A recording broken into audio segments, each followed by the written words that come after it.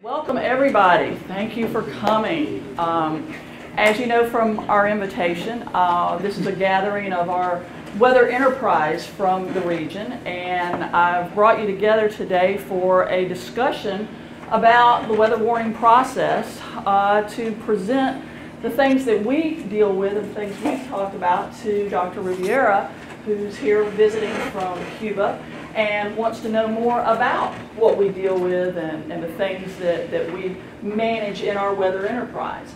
And um, so I wanted to bring you guys together because we're the ones that we've all been working with, and you guys are the biggest contributors to, to all of this. And so I wanted to bring you together, introduce you to Dr. Rubiera, and have a really good discussion on the things that we have been managing and dealing with. So you know in the invitation I sent you a list of potential discussion topics for you guys to think about. And I've got those up on the slides and we'll use those to kind of facilitate our discussion. But first I want to go around and have everyone introduce themselves uh, in terms of who you are, uh, what agency you're with, organization you're with, your role in the process.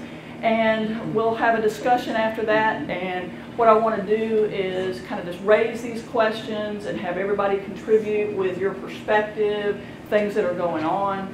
So we'll facilitate that after we do our introduction. So let's start with Dr. Rubiera. Oh, thank you. Good morning, everyone.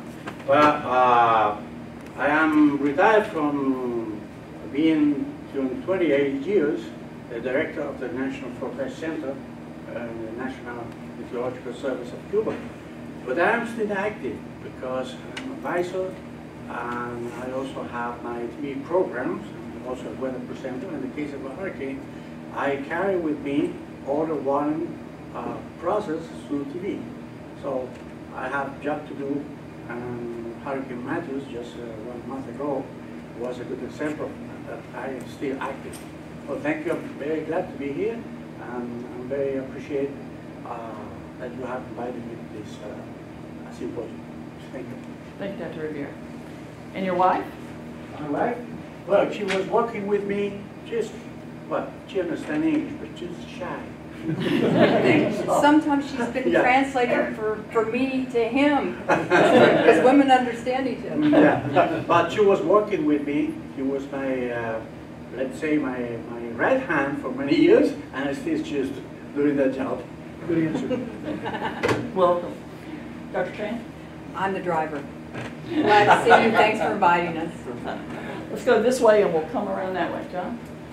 I'm John DeBlock, warning coordination meteorologist at the National Weather Service office in Birmingham, responsible for public outreach, education, and liaison with our key customers and partners. I'm Jim Stefkovich. I'm the meteorologist in charge for the National Weather Service in Birmingham. Uh, Our office serves uh, 39 of the 67 counties here in Alabama, including uh, Tuscaloosa and the University, and soon to be retired at the end of the year. Good luck with that, it doesn't work. He's going to find that out. We're not going to let him go. I'm uh, Kevin Laws. I'm the uh, science officer at the National Weather Service office in Birmingham. Uh, Essentially, I direct operations internally, and uh, as opposed to John, externally, I kind of do the internal uh, direction, especially with severe weather operations. And uh, so we deal with the internal warnings. Once it leaves the building, then it becomes external, and that's where John sort of takes over. So Jason Senkbeil, I'm an associate professor in the Department of Geography here, and my background is in climatology and meteorology, but most of my research, I drift a little bit into social science, and I try to improve how people perceive severe weather events and how we can better communicate risks so that they take appropriate action. John Keith, uh, emergency preparedness for the university.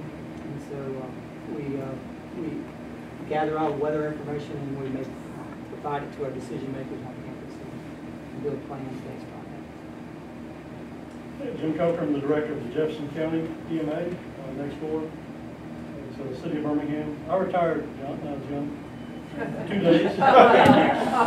So, and then right back in. Dave Hartnell, I've been associated with the emergency management side since 1973 as a volunteer, additional duty. Nine years, I was director of Tuscaloosa County Emergency Management. Now I'm retired and a volunteer and part-time employee. And for all these years, we monitor the weather, we try to educate the public. Uh, we get on talk radio shows, regular radio, and Diana get more the social media, social media, putting information out, hoping people will follow. My name is Diana Dollar. I'm with the Crystal County EMA and I'm a meteorologist. I'm Jake Reed. I'm a TV meteorologist from Huntsville in the northern part of the state. WHUT. And we'll start down here, Daryl. I'm Daryl Arnold, I work on Dr. Meyer's social science research team. I'm the former uh, training coordinator here at CAPS and uh, also former law enforcement. Sarah Gallman, and I also work here at CAPS. And Helen Smith, also from CAPS. And so let me tell you what CAPS is. Um, This is the Center for Advanced Public Safety here at the University of Alabama. And uh, we do software development for public safety. Uh, We also uh, have a small contingent of social scientists who do the weather warning research. So we work with the Weather Enterprise doing the social science research that helps with the applied side of human factors for the work that they're doing in the Weather Enterprise. So that's how I know these folks. That's, uh, these are the folks that we work with, and they've come to us uh, with questions about the social science side of it. We've come to them with things that we can do, and so there's a lot of partnership in that process. So we'll probably talk a little bit about some of those things today. I'm Dr. Laura Myers. I don't think I introduced myself. Uh, I am the director here at CAPS, and um, so um, I'm going to facilitate our discussion. We're going to have some other folks joining us because they couldn't get here right at 9 o'clock. So as others come in, we'll stop and introduce them when they get here, and then we'll just keep on with our discussion. And what I want to do is make sure this is just a, you know, informal, casual discussion. I don't want to, you know, present a lot of formal information. I want it to be all about us and, and our discussions. So I'll throw in a few things here and there, but otherwise it's going to be all you guys doing all the talking. And I want you to feel free at any point to stop and ask a question about any, you know, discussion or make a comment about the discussion. So I want it to be that interactive. So, you know, just, we're just going to have a feeding frenzy on this information. All right. So, all right, first thing. I kind of try to conceptualize uh, some of the things that we've worked on in the weather enterprise and some of the things that we've been dealing with. So the first thing is how do people get weather warnings and weather information? So a lot of the work that's been done in the last several years is about how do people get their warnings? What modalities do they use? And in different communities, they use different things, more and less, depending on what works best in those communities, the history in those communities, their experience with weather. This community in particular uh, dealt with a significant tornado outbreak in 2011. And so after 2011, we did some research on, you know, just how people got their information in that particular event. We learned a lot from that. And then we did it with several other communities that experienced events after that. Joplin, Missouri, um, Moore, El Reno, Oklahoma. So we've looked at a lot of different areas about the modalities and what people use and what they need to use and the information they get. So that's where I kind of want to start our discussion is about how the weather warning process works in our particular region.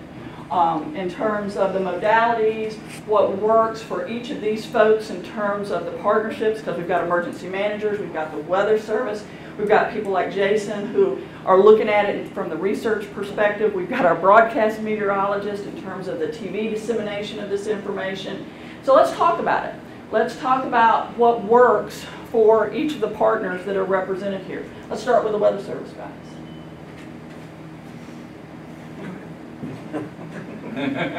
Well, okay, uh, since you you gave a pause, too long of a pause. Uh, For us, of course, we're the physical scientists, so we're doing our best to put out the best warnings possible. And um, through a lot of work at our office, and primarily through Kevin, um, we believe we have one of the best warning programs in the country. We've dramatically reduced our false alarm rate. Uh, We take a a lot of pride in that, and um, we want to get the information out. Now, we get it out through, primarily through weather radio. And just recently, the Weather Service has allowed us to use social media. So we're, we're one of the offices that has a very large social media following. uh, both with Facebook and Twitter, and we're, we're beta testing Periscope right now, another platform, uh, and, and getting the information out that way. Very close working relationship with our media partners and with emergency management. We'll also work with them to get the information out. Um, Is it six or seven TV markets basically we cover? Seven, Seven. seven markets we cover. And, and uh, it's never a competition, it's, it's a, it's a true partnership. And, um, and I think the biggest thing that's happened is that we were fortunate enough to have somebody like Laura Myers and her staff help us because for years, the Weather Service was of the mindset, we were providing information what we think people needed, but we really didn't know, and we needed the social scientist component. And now the Weather Service is starting to recognize that and realize that a great warning is useless if people don't react to it. And so that's where the social science aspect has really helped. And that's been a real interesting part of this is, you know, to try to understand from the public side, you know, what information they get, what they do with that information, how they even perceive that information, because it's, it's psychological, it's sociological, and, you know, like I said, it's also contextual in terms of particular communities, because there's differences in different communities, there's differences with different types of weather, and so the, the research that we've been able to do for you guys is, has been really enlightening in, in terms of being able to provide that back to the guys that, that can really utilize that information. You know, because after 2011, it was like, you know, there, there were a lot of fatalities in that event. And so the, the question was, what worked and didn't work? Well, the process worked extremely well. It really came down to the differences in the public and, and where they were in their mindset, what they understood. And so trying to get that perspective is really helpful in understanding how to improve the weather warning process. And also learning what the best practices are, what was working, what was working well. And the big difference in 2011 is those were just tornadoes that were so much stronger than had been experienced in this region. And that was the difference in the public perception. They didn't know what to do with it. They didn't know what to do with it. All right. What about the emergency managers? First of all, I appreciate being asked here. Um, One of my main concerns is, I do think the Weather Service does a very fantastic job getting the word out. We still have segments of our population that can't receive it very well, which are, uh, I'll go ahead and tell you a failure that we're working correct, our senior citizens. Uh, A lot of them do not do social media. Uh, Unless they happen to have the TV on, they don't get the television. Um, we're fortunate in Jefferson County, we do have an automated system that will call people. And I will use my uncle as an example, he's ninety-three years old. He'll get the telephone call on his home phone because he does not do cell phones or anything else. He's got to figure out that the nice lady who calls him is actually a voice. Uh, I think he's developing a relationship. I love this story. But I just think that the, the seniors, we need to find another way because they've, at least in our area, have been a forgotten group. Um, you know, How do we get to them and let them know you need to turn on your television set, or you need to, if you have a, a weather radio, make sure that it works. Uh, And then we also have some other lower income areas that are also a concern. So, Yeah, I think that's a, a big factor is, you know, understanding who the vulnerable populations are in a community, the ones that are harder to reach, the ones who won't be able to take the best action because of their circumstances. So how do we reach them? How do we educate them about the modalities? David, you mentioned, you know, the educational process and getting information out to the public so that they understand what it is they can do, what they should do. And that's a big piece of this. And then what resources are available, like you talked about your alert notification system. So in different communities, there are different modalities that can be used. And is the public aware of those things? And how is it working for those? Um, we just completed phase one of a study about the modalities for NOAA and the Weather Service in regards to what do people use and why do they use them. And it's really interesting because, you know, there's a lot of anecdotal information about elderly populations, other vulnerable populations, uh, the millennials and what they use and what they don't use. And so try to get a good understanding nationwide of what people use and then contextually what people use locally as well as what's available. Because when we talk about NOAA weather radio, you know, there's a lot of concerns about, you know, the, the, the technology of NOAA weather radio and Will people use them? Younger populations tend not to want to use NOAA weather radio because they're into all these cell phone apps and all the alert notifications and that sort of thing. But then when you drill down into it, you find out that NOAA weather radio provi- provides a lot of good services that we really didn't realize, especially like for overnight warnings. You know, how do people get their warnings at night? And then also in certain communities, NOAA weather radio has become kind of a staple. And so after 2011, we were able to recognize that NOAA weather radio in Alabama was a critical modality. It Wasn't so much in Mississippi um, because they hadn't had a big surge of use in Mississippi like they had had in Alabama. So after 2011, they did a surge in there, and now they use NOAA weather radio more than they did before. So I think that's a big factor, is kind of recognizing what resources you have and then educating the public on those things. You know, uh, I think there's no one perfect tool Mhm. at all. And anytime we talk to a group, we tell them you need several tools in your toolbox. And we don't really care how you got it, as long as you get it. Yeah. Yeah, I think that's one of the things we learned after 2011, and then after we did the, the uh, needs assessment for NOAA weather radio, it really comes down to the fact that we recommended that everybody have more than one modality, and I think the public's beginning to recognize you need them all. You need as many as you possibly can, because they're gonna give you different kinds of information, they're gonna give you different timing with information. So for example, social media, you know, that's not a direct warning modality because you're not going to get it in the timing that you would need, like from NOAA Weather Radio or from a WEA alert. And so having all of those things makes sure you're going to get it some way, somehow, under the strangest of conditions. You know, if you're on the road, if you're on a, a vacation, if it's overnight, you need all of these modalities because one of those is going to become primary in that process. It's really neat when we ask the public about which ones they use, and they'll talk about three or four or five that they use. But then you ask them which one is the most important to them. And they'll all say something different based on the circumstances. If they've had an overnight warning, they'll say something about NOAA weather radio. They'll even talk about sirens. In this region, sirens are a, a factor in the warning process. And I'd be remiss if I didn't you know, mention sirens because a lot of people rely on sirens. And there's been a lot of education in this region about don't rely primarily on sirens because they're outdoor warning um, sources. So a lot of information out there about those different tools. Anybody, uh, any of the other emergency managers want to add to that discussion?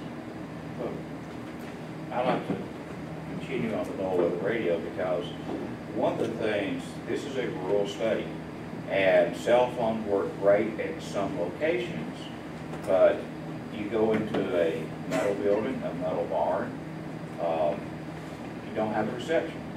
And they do not wake you up at night like that annoying NOAA weather radio. It works generally throughout the state, and where it doesn't, there's some other apps. And generally, I think the senior citizens find it easier to understand. It's a simpler technology, it goes off, it has a script that tells you what it uh, is going off for. Whereas the cell phone, sometimes it's not even loud enough to wake you up. But to reemphasize the multiple warnings, because we found out before, some folks won't believe it when they get it from one source. They need two or three or four.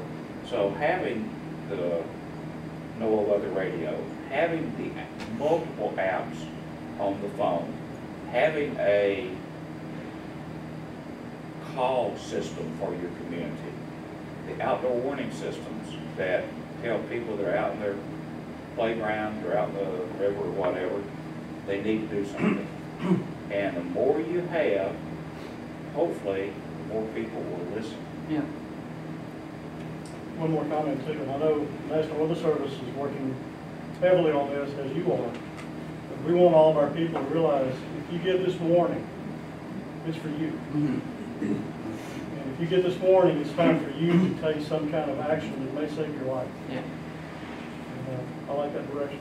Yeah, and that, that's what we're seeing is, you know, it, as David mentioned, you know, it's a matter of, you know, trying to understand it's really happening. And to understand it's really happening, you have to break through the psychology of people.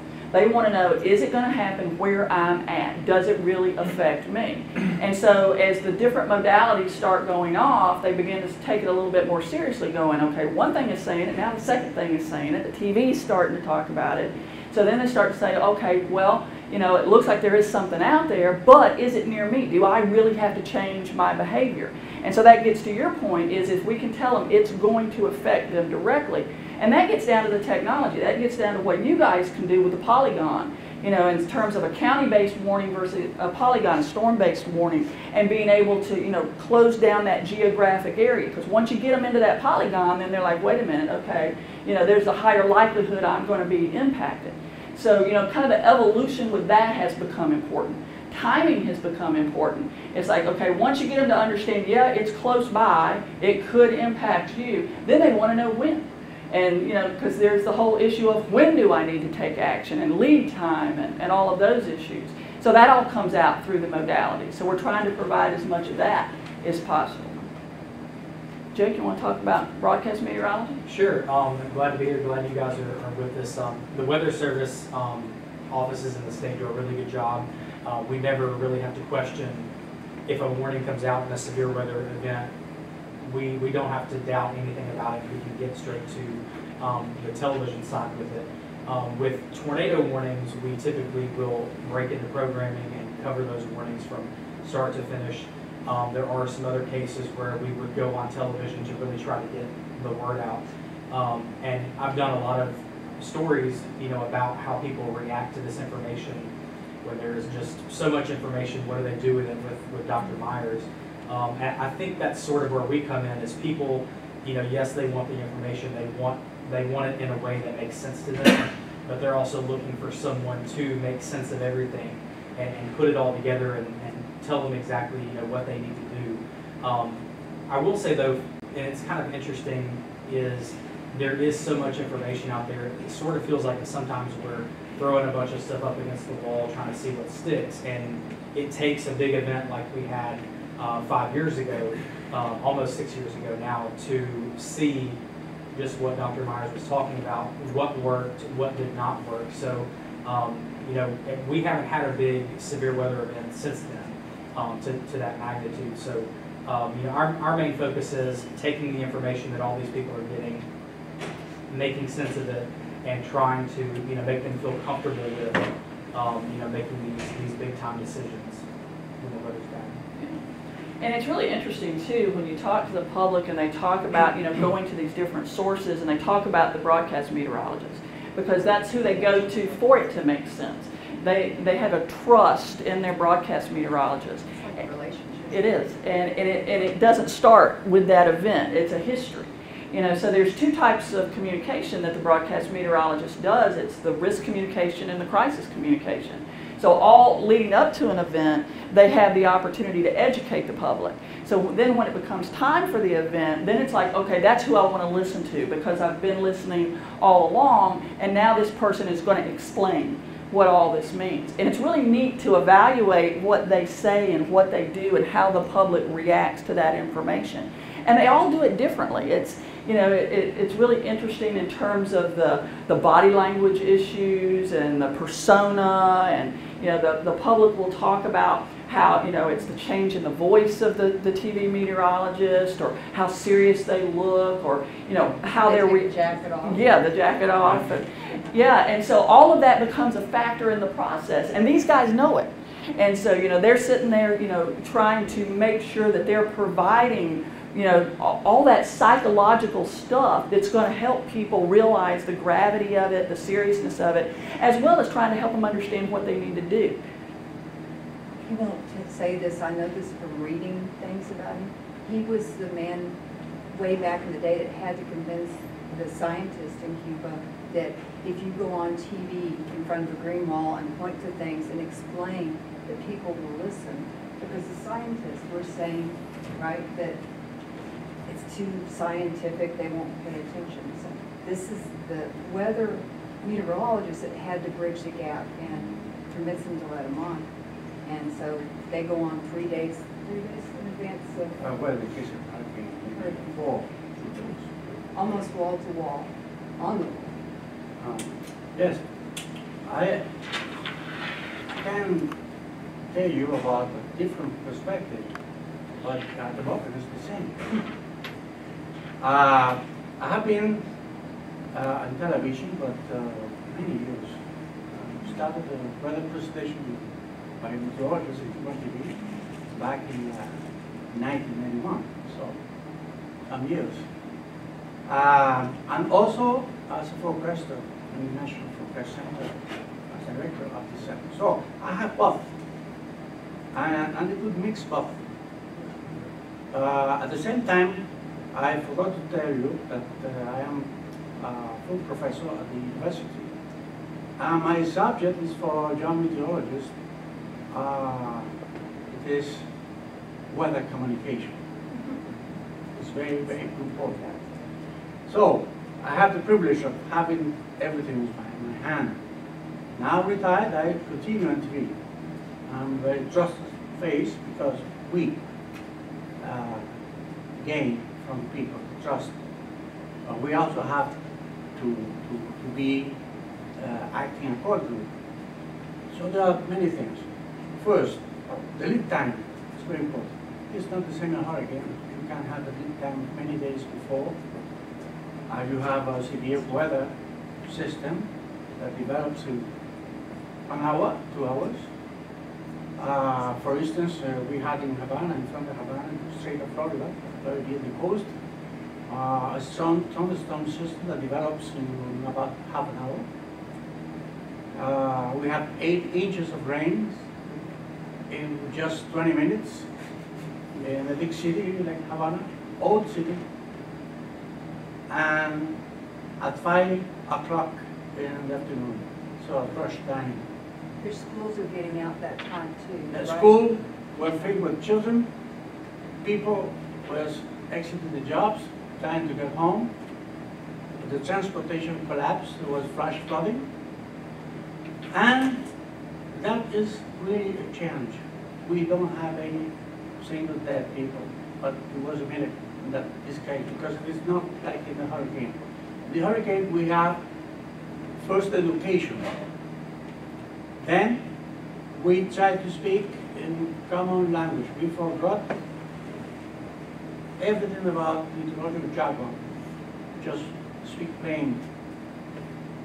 And we uh, keep the pace of the storm, increasing information as the storm arri- arrives. Psychology is very important. We have tried something that works very well for many years. When people see me, I am in the TV studio with a common software for shower the weather. Well, nothing happened. But when I move the camera to broadcast from the meteorological center, it's a different scenario. You say, oh, something is happening. We have to pay attention. Besides, uh, the body language is very important. We know it. You, you, you can, people can see we are worried, but they can't see we are happy. Because sometimes some meteorologists like weather, you know. But we, we- we, we, we have to transmit to our body the real seriousness of this situation. Um, for instance, in Hurricane Matthew, we didn't have any, any fatality, but it was just before hurricane. It was hitting a part of the country, eastern Cuba, easternmost Cuba. They had never, ever had a four hurricane. What we did, show pictures of all hurricanes in all parts of the country. This is what a category can do. This is very serious. You have to, to, to keep your lives. And we explain the eye feature. Build the account. That's, uh, before you, we have strong winds, some rainfall, then you might think that it's over, if you are not, the same middle of the storm. And a few minutes later, maybe an hour, you will have the storm again, maybe stronger. Things like this. But in the case of, uh, these very fast events, we don't have that. We don't have no radio. So we cannot give a warning through radio. We don't have enough internet access. Only thirty percent of the population has internet access, mainly in big cities. Um, most of tornadoes and most of severe weather happen in the countryside. But eighty percent of the population has already cell phones. So, we don't have it implemented yet, but we are thinking, because of these experiences, of providing through the telephone company SMS messages that we push into the phones to deliver the message of the warning. Because television is not good for us, but only because people work, they are not watching TV. And radio, maybe, but it is not, everybody is not listening to radio at all times. So we have to, to we need to have something for that. And we are working on this. So this experience, exchange experience, is very, very, nice. Because it help us to exchange uh, different views of the same problem. Is the TV station and your meteorological organization, are are they, they're both government owned, correct? Yes? Okay, so it, it's a, um, a consistent message is obviously, can be a lot easier because television, obviously here can be Yes, totally it is. different, so, yeah. I, I just take a phone and call the, the manager of the TV station, say, I need to have three minutes there, I have, I need to have five minutes. And I use the time accordingly. Ad hoc network So- like so- the old days. Yes, if I need one minute, say, I one minute. And they trust me, so it is an advantage I have. It's pretty hands-off. Dr. Myers mentioned WEA, W-E-A, Wireless Emergency Alerts, which is on the cell phone system, but it's a radio signal, it's not an SMS. Oh. So that, that becomes free to the users. Um, it- We're growing that capability right now across the country. Um, Our first version has been implemented. Um, If you're driving from here to Kansas and you go through Missouri and, and there's a warning, your phone will sound like the emergency alert and let you know you're in the polygon without a text message. It's a special override, basically, on the radio frequency that's with, at those cell towers. Um, So that technology is something that we're using in our country. We're in the process of upgrading that now. Um, It was limited to 120 characters, 90 characters. It was time. Ni- 90 character, very brief message. We're- going to be increasing that in the next two years and also having a, a link that you can press and, and have access to more detailed information. It basically says, you're in danger, get more information, Yeah, yeah. i- is what it says. So it, it is that alert, that, that klaxon in the night that, that will get you if you have your cell phone by your bed. Um, So that, that's one contingent there, but for, during the day, when you're at work or at school, this will go off and let you know. Uh, We also use it for missing children, um, other life-threatening situations where that wireless emergency alert will, will be sounded. Um, The adults with Alzheimer's. Yeah, the, you know, senior citizens, the, the silver alert is, um, so, so that's the technology that we're using in our country, which is new and upcoming. It, it's really, um, I don't know that we, we're struggling with it, we have some growing pains, but we're learning how to make it more effective. Um, If you, we have had problems with it, with too many people being warned, we're refining that capability right now. It's, it's really an emerging technology in the alerting process. That's very interesting, I didn't know about it. Because we have been exploring cat, coming on that problem. But what is, uh, what is, what happened with cat? We don't have internet phones. So, we can use it. You need a computer to, to see the one, so it's opera, no use. But this technology could be very, very nice because it is like never heard that you have in your phone, said, "A- ask for more information. So you drive it Drive to. into it. get more Turn the. TV on, turn Yes. the radio on. Yes, Go to the center, and the rural areas in the mountains, they have listening centers or government centers where if the people don't afford a TV, they can go to there, so that would push them to there. Yeah, and as John said, this is emerging technology for us. Um, and part of it has been educating the public that it's even there. Um, you know, because as cell phones came out that had the technology on it, um, the public wasn't aware that the phones even had it in the beginning. It's like it's hidden. Yes, until it goes off. And then you're like, what have I got? And so that's been part of the process is making the public aware of it and then, you know, really honing down the use of it to make sure it's working the way it should. And like John mentioned, you know, increasing the capacity of it to make sure there's more detail in it because the limitations in the early days, it would only be a limited amount of information. The more information we can get on it, the better. And so, you know, this has been a process, and it's been real interesting kind of seeing how different parts of the country have reacted. And of course, it's been very um, situational because those things didn't go off except in locations that were having events. And so, you know, as those things have evolved, it's been really interesting.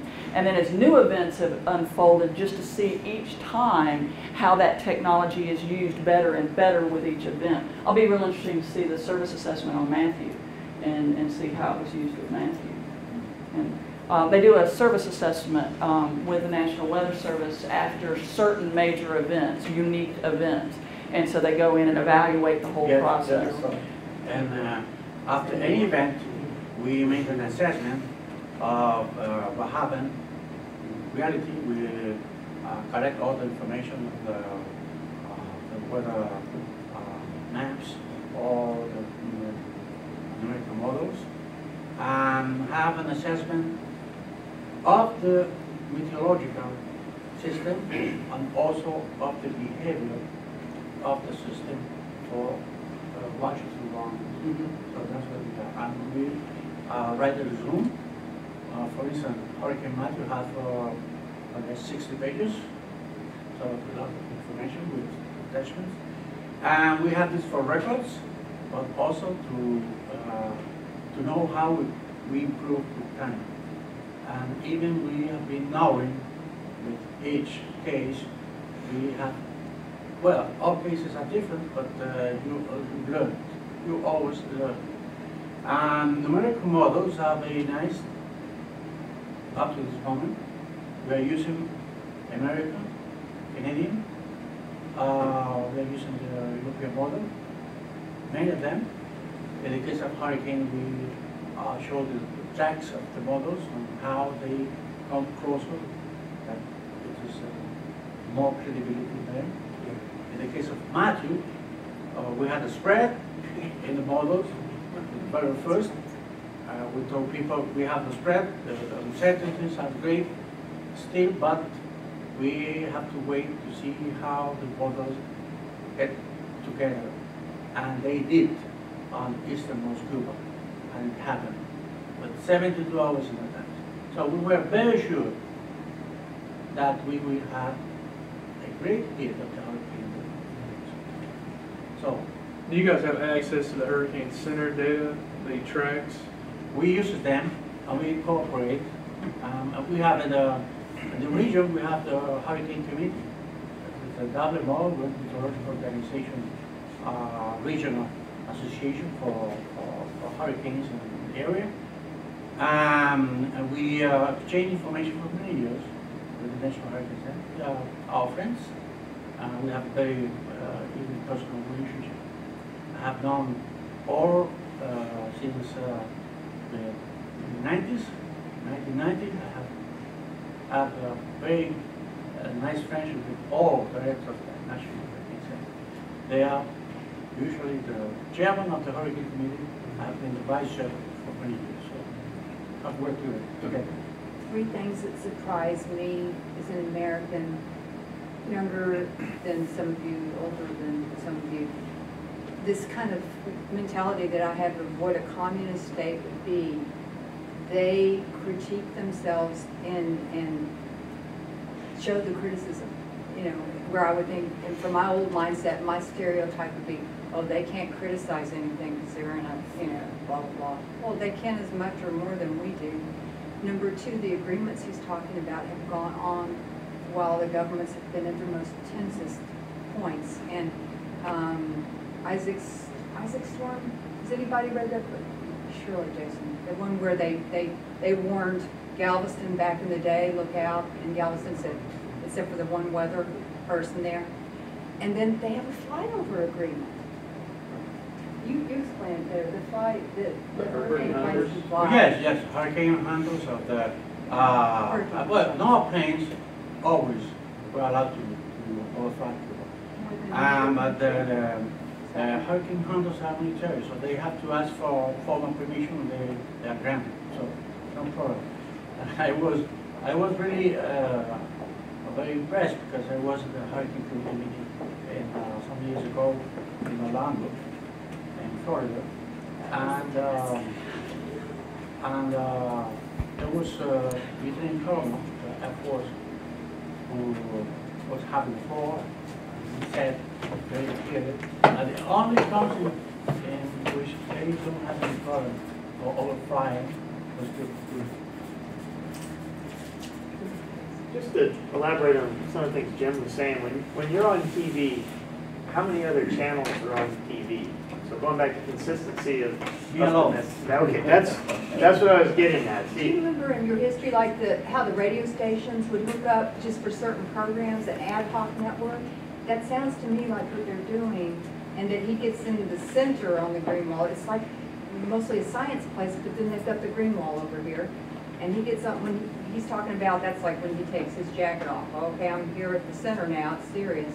And he tells them, I want this many minutes, and so Well- one, just one message. Yes, and the World Meteorological Organization says that in the case of hazardous weather, uh, you have to act with a single voice. And that's what you have, well, that's what we try to do.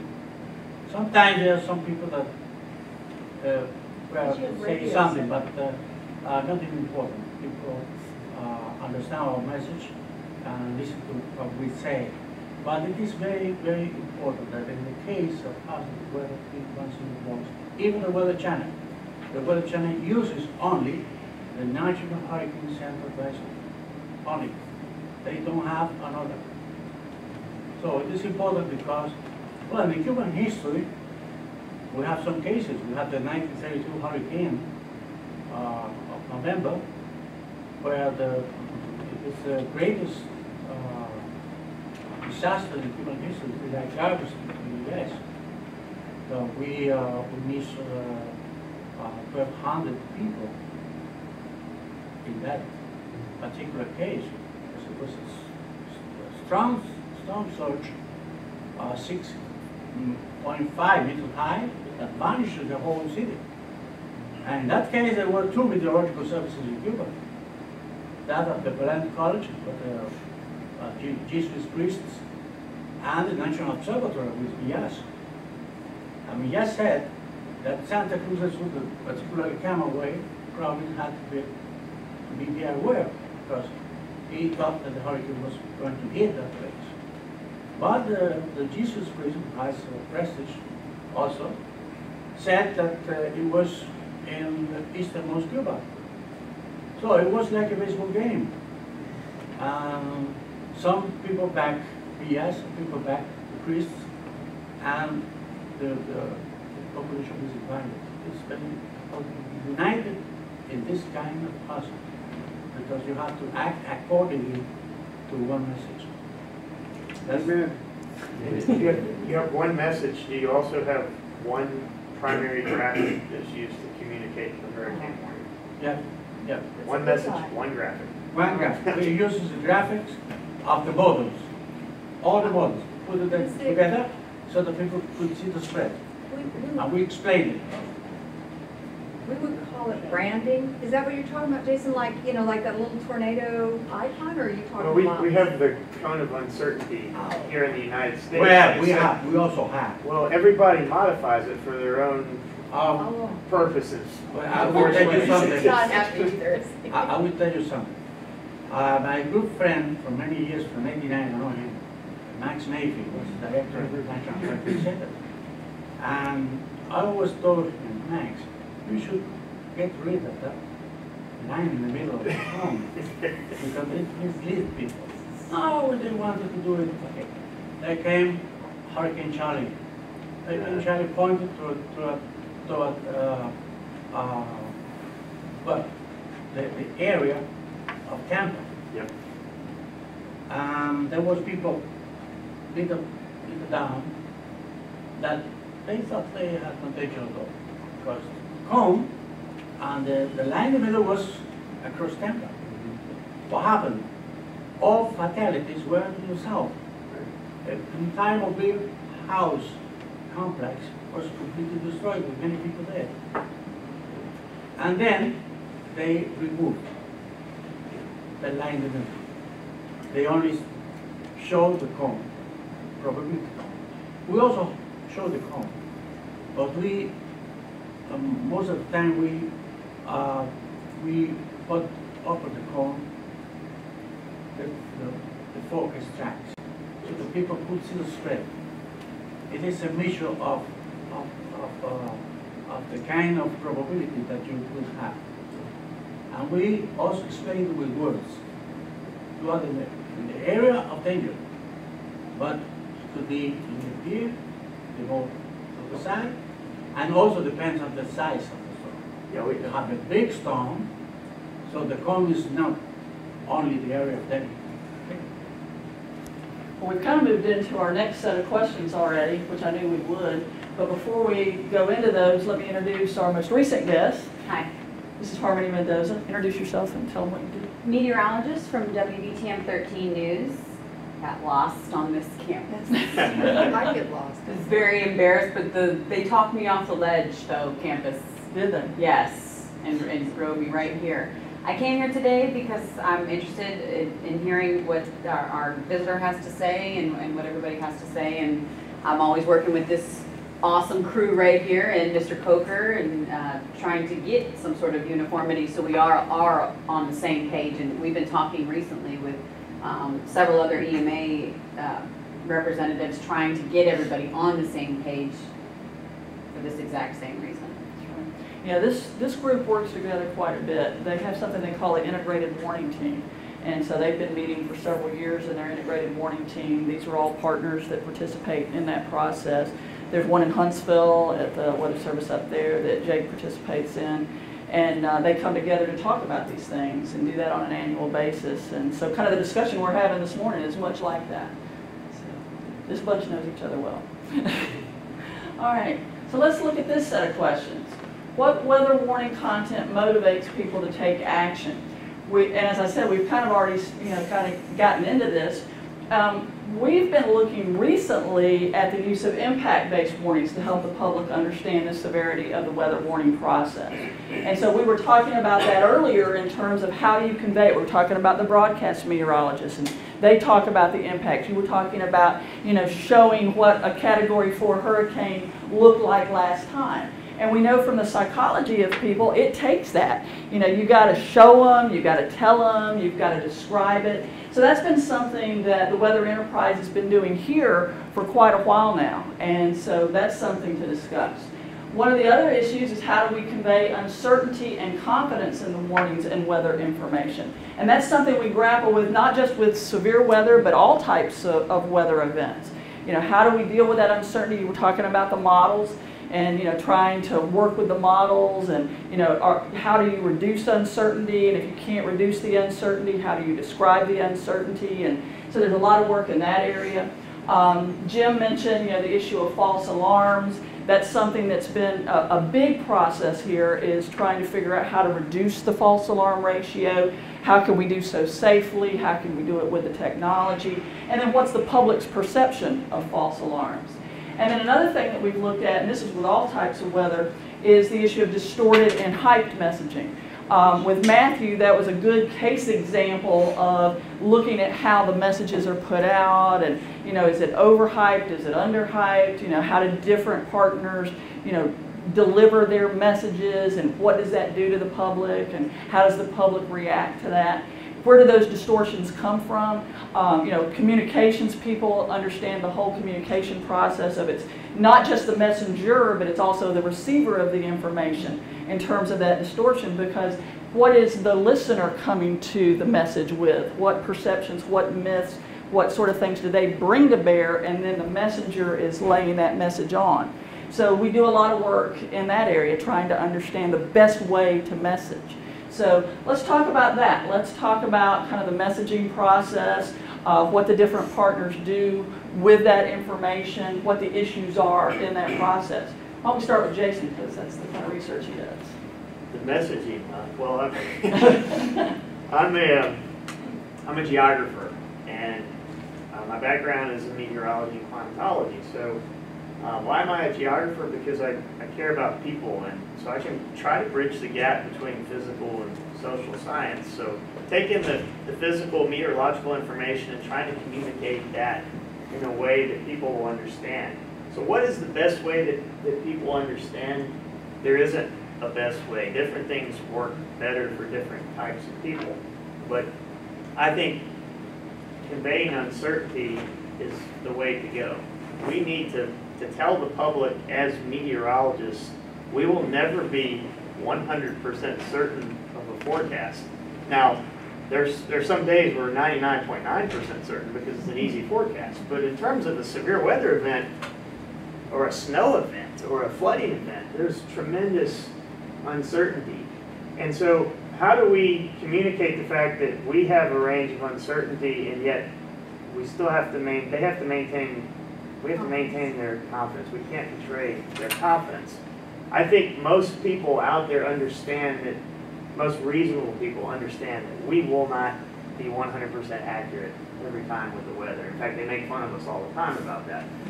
And that's okay, we understand that. So I think there's a lot of people in an interdisciplinary setting. They're coming from social science or physical science, or they're coming from engineering or, or some other discipline where we're trying to create products where we communicate the uncertainty in a way where we're still confident. So we have a narrow range. Okay, the event is going to be between X and Y intensity, and we are this confident. Now, maybe we don't actually communicate the probability to the public because maybe they don't understand that quite as well. But you convert that into a method where maybe it's color coded or some other some other way of seeing that where they understand qualitatively or just categorically they understand, okay, here's my threat. So most of my research is from the, the top down and creating scales, new scales or new products, and then let that information filter down through the unfortunately multiple channels that we have as opposed to the one channel that you have. Um, and those are some of our issues in the United States where we have this information, we have good information from the Weather Service or the Storm Prediction Center or the National Hurricane Center, but that information often gets twisted and convoluted as it is communicated by different types of people and different agencies and different private entities as it runs down the chain. And that, that's where we are right now in this country. I understand what he's saying though, hundred percent, because I double majored in geography, I went to Florida State University, that's why I don't know my way around this campus, I'm sorry.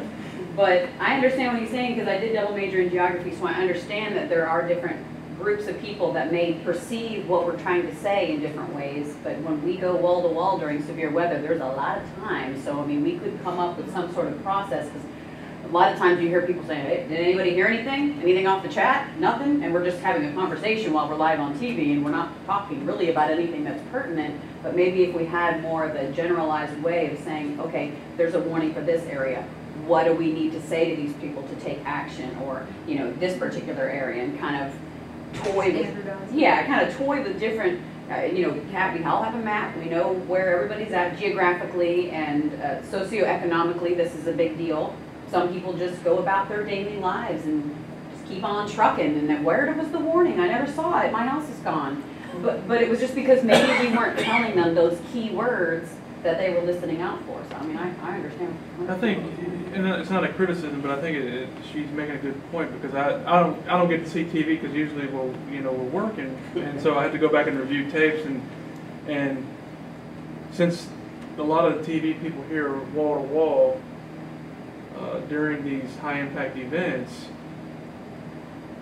I, I don't know what happens. It- It's the, the talking that they're that they start doing, and it's it's it may be just time filling, but there could be some critical things that are said when time filling that maybe they're not even realizing they're saying, and that gets interpreted the wrong way. And I've actually been on storm surveys where they will they're they were impacted by the storm, and they would say to me, well, I had on the, I said, why didn't you take action? Well, I had on the TV, and the TV people weren't conveying that this was a serious enough threat for me to take action. So, and it was, and I went back and reviewed the tape as to, relative to their location, and it would be something subtle like this, it looks like the storm is weakening. They may say something like, well, to me, it looks like the storm is weakening uh, with this next radar scan, when in fact, it wasn't.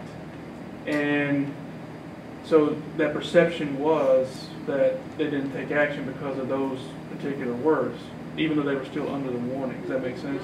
It's not a criticism, it's just, it looked like it was just, like you said, a conversation that was going on and people were interpreting it different ways. Yeah, because sometimes we're talking for eight or nine hours straight and it's just blah, blah, blah, blah, blah, blah, blah, blah, you know? And I don't think it would be the worst idea to try to, as a team effort. My team is very solid and they're on board with our notes from the integrated warning team meeting. I don't think anybody would be opposed to say, okay, when we get to this point, and we're talking about these five counties, let's be sure to at least circle back with each county and address them. I mean, we could do that within a two to three minute span and say, here, here, here, here, here. I mean, a, a better planning, I think, is probably, and that's what we try to address mostly, is better planning going into it. And we've had such a long lull, we've been trying to get more plans together before we get into that point where we were five years ago. Harmony, you mentioned something about we have the map. As we're finding out, people's knowledge of where they are on a map Yeah. is not what it is. You don't necessarily have that problem perhaps in Cuba as much as we have here. There are people that can't find their town on a map of the state of Alabama or their Yeah. county. You need color. Um, It it is very sad to see There's your the, you know, as we rely more on these, we become less aware of maps and geography. Uh, I'm going to plug for the geography department here. So um, it- it's very sad to see that, and and that is a- a new challenge that we have that we didn't have 10, 15 years ago. Uh, The the general knowledge of where you are on a map is is decreasing. And our entire weather enterprise is, is based on a map system. Our, county based or whatever, our entire system is made up of that. And location. In our case, I forgot to say, uh, just we have one national program, but we have 15 television stations Oh. in provinces. And meteorologists, we have meteorological uh, centers in every of the provinces. And these meteorologists are on local TV. And they give this information based on our general forecast. They pinpoint that forecast in the province that is not very large. So it is something to, to land the information on the ground. Yeah, and that's the thing, you know, taking it from the general to the very specific is a process. And then over time, these things have changed, you know, where it used to be we didn't have these issues, but now people, you know, are not as map savvy, that, you know, just the whole way people know where they are. And then the whole transience issue, you know, we're traveling on the roads, we're on vacations, we're in places we've never been before. So even if you know where you are locally, if you're out and about, you may not know what county you're in. It's really bad to get a weather warning. You don't warning. have a radio breaking in anymore because you Right. don't have, you know, the localized radio. Exactly. And then you were mentioning things changing. Keep in mind, our TV markets have gotten collapsed and bigger. Right. And this may be something he's not aware, but you know how they will, I'm gonna use a B word, how they're gonna bid Mhm. if you're talking about whether it's going across the big market because it's your viewing area. Oh, yeah, especially if Days of Our Lives is on. Yeah. We're in big trouble Dancing then. with the Stars. Or Dancing with the Stars. American Idol. Information about somebody's geographically far Well, away. something interesting too that happened, um, I went to Portland for, we, we have a program here at Vortex that studies tornadoes in the southeast, and, and it's a five-year program, and, and I was, I went to and talked to the director, a guy who controls a lot of the funding, at dinner and we're talking about getting funding to study how much, how many people really know where they are on the map. And I sold him on the fact, I said, we're sitting right here in Portland right now. I said, if the National Weather Service in Portland issued a tornado warning for this county we're in, I said, do you know what county we're in right now? And he said, no. So I said, this is exactly what I'm talking about. We, we don't have that knowledge that our system is based on, which is county-based. So that's how we, sec- that's actually how we secured the funding with that question, because he did not know where he was. That was good. Well, and you know, along these lines, because I have two daughters, both in grad school, so they're not dummies. One of them, and my money comes here. And it's amazing, I'm convinced they're the generation that unless they get a message that says duck now, they have no clue where they live, they have no clue, you know, and I challenged one and she says, I know, I know where I live. Said, So what's our county to the west of where we live? She said Jefferson, said that, you know, she had no, no clue. And so I, that's in America, I think we have gotten totally away from geography and, and we're the generation, I think the last generation knew how to read maps and find out where we are. Uh, I- I- So that's why when we talk about polygon warnings, I, I don't, do do you understand that concept of what a polygon, in other words, we do for, in, the in, um, weather service, we issue storm-based warnings based on, basically, think of a cone like a hurricane of the area within the county or counties where we think the storm is going to be. And I- We've had great results from that. I mean, just from the general public, because they always contact us, and we, since they changed that, we've had great results and a lot less complaints. So that has been great. But it seems to me, though, the TV folks have got to explain the name Little Towns, Every town, Crossroads. every because town. That's why I I love think it. your research has found that people are waiting to hear their They're name. waiting to They hear their can't even town. look at a map Yeah. and say, well, I'm not there, but I'm right here. They, That's I right. don't know that. Well, that's why local. They're by landmark.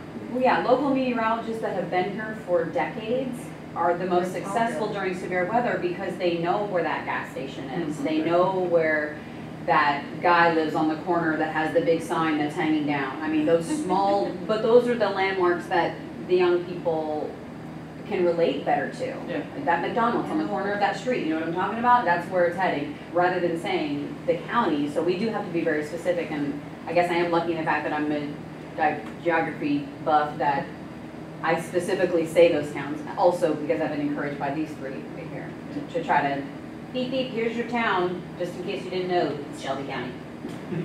Yeah, and it goes back to what, you know, um, Jim was talking about with, you know, not having good map reading skills. It's not just where you're at, there's also the issue of direction. Yeah, in- Right, in terms of directions. Yeah. directions, you know, which way is it coming, which way is it going? You know, if they don't know which counties are to their west, they're not gonna understand where that storm's coming from and where that storm is heading, much less how to read a polygon. I mean, you know, when we start, you know, talking about how that polygon is formed and what that thing means, and then when we go to facets, you know, that's supposed to be, you know, very geographical. This is a new thing. Kevin, can you explain? Yeah, uh, facets is uh, the way, you know, the upgrade to the polygon now. So you get more information about how, if you're downstream from a storm, you would get actually hazard information as to every minute updated on, on their phone or an app, you know, maybe an app or however it's going to work, as to what actions you need to take based on the location of that storm. So it updates you every minute hey, danger is approaching, you need to uh, begin to look for shelter. The storm will be there in 30 minutes. It, it gives you that updated information on the fly, but it's in terms of probability that hopefully they won't share with the public, but it's in terms of probability, uh, like a warning cone, what's your probability of being impacted by that storm? Versus a black and white, you know, you're in the warning or you're not, now you have a probabilistic information, so. Because what we're finding is that, you know, even our polygons are too big, right? Some people will not, never be impacted by that storm who are in the polygon, and you want to hone, hone in on that information and the probability with. And we're in research and development on that. The Weather Service is in the development of that. It's something to be done in the future. And they're engaging in all of this research, including the social science research to figure out how this would work with the public's perception of that process. Judge, uh, it's important to tell people not to uh, focus in one particular cone. Because cone, every six hours is changing. So the trend Yes. of the cone is important. If you see that the column is moving eastward or to the re- left, or what you want, well, this is something to say that uh, the, the certainty of being hit by the hurricane is more to the east in time. Sure. And if you have, uh, well, I I think the worst case is uh, stationary.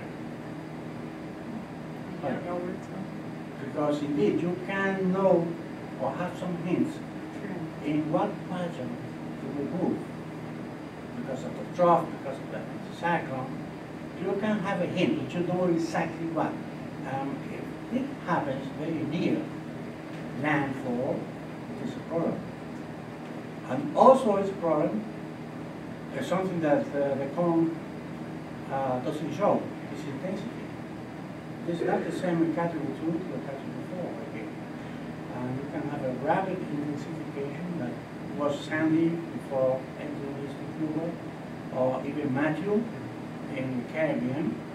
And you, you can have this rapid intensification very near landfall. Or maybe the, the, the, the, the, the way that actually the eye of the hurricane moves. If they did some kind of movement very near landfall, it might be that you don't have the, the, the, the, eye of the storm hitting here, but several kilometers away, several miles away. So it is important not to focus on a particular or single feature of the storm.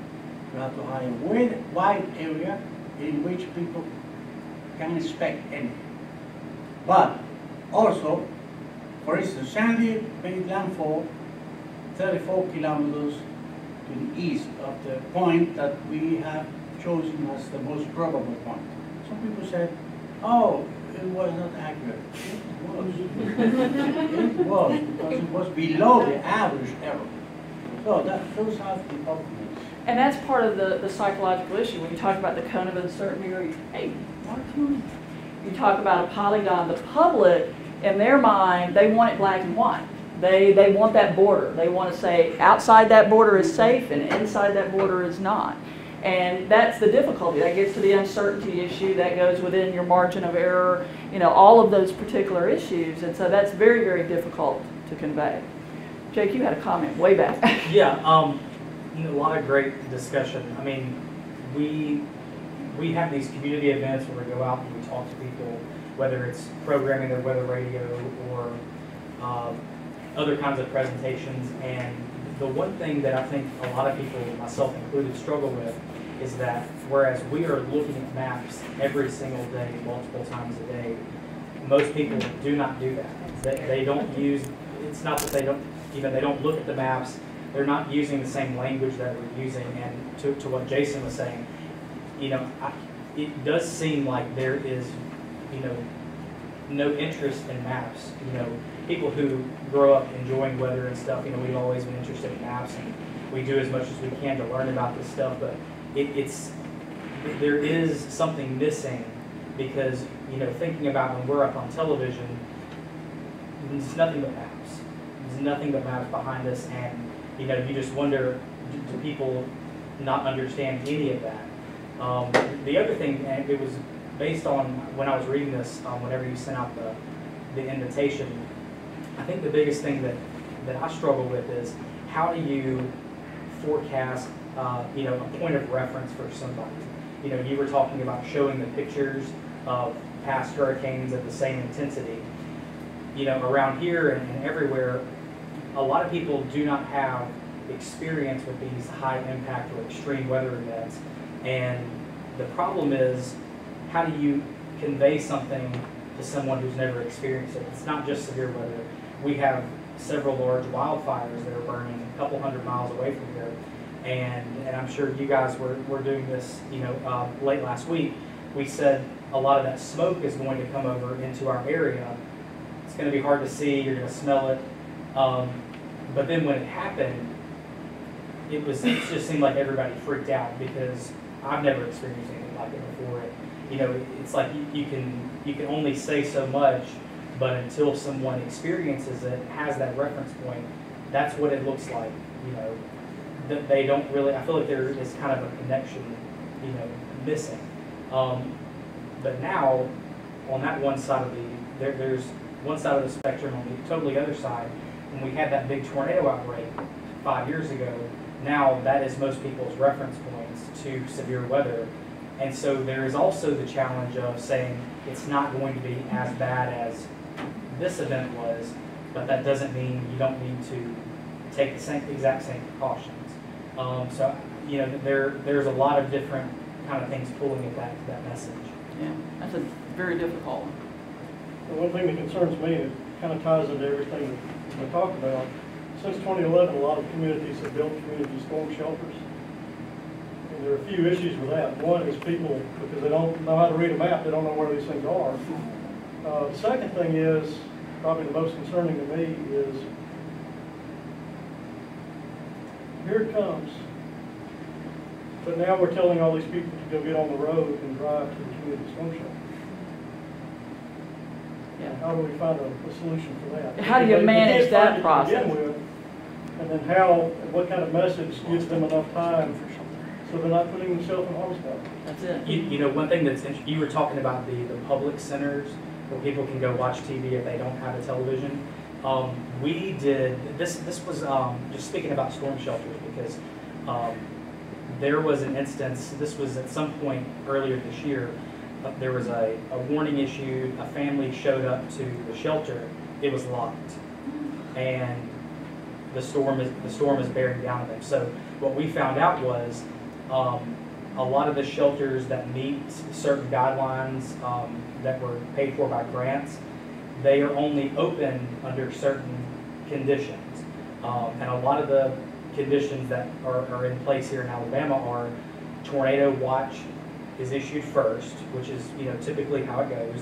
Um, a couple hours before the weather really gets bad, that gives time, that gives people time to get to the shelters. Um, but in, in the case where the shelter was locked, there was, the, the watch was not issued first. This was just kind of a random road warning. Um, so the key holders, they, they had not been given the go-ahead to, to go and lock the shelters. So, um, you know, it's like what this gentleman was saying, you know, it's great to have all these shelters, but, you know, how do people know if they're open? And that, that was one thing that we, that I personally struggled with on TV was saying, you know, there's this shelter right here, but I don't know if it's open because I'm not there. Um, and so you, you know, thankfully, once we did the research, we know now that if there was not a tornado watch issued, probably don't need to push the shelters because more than likely they, they're gonna be locked. So I just was wondering if that, that government place was, was it always open or, you know, always available for people to go to? In the, in the, Well, uh, in the case of Cuba, well, uh, in the case, tornadoes are very, very uh, mm, non-usual. So, uh, we, uh, um, decided more in the city. So that's, something good for, us. Uh, in the case of hurricane, we have enough good time.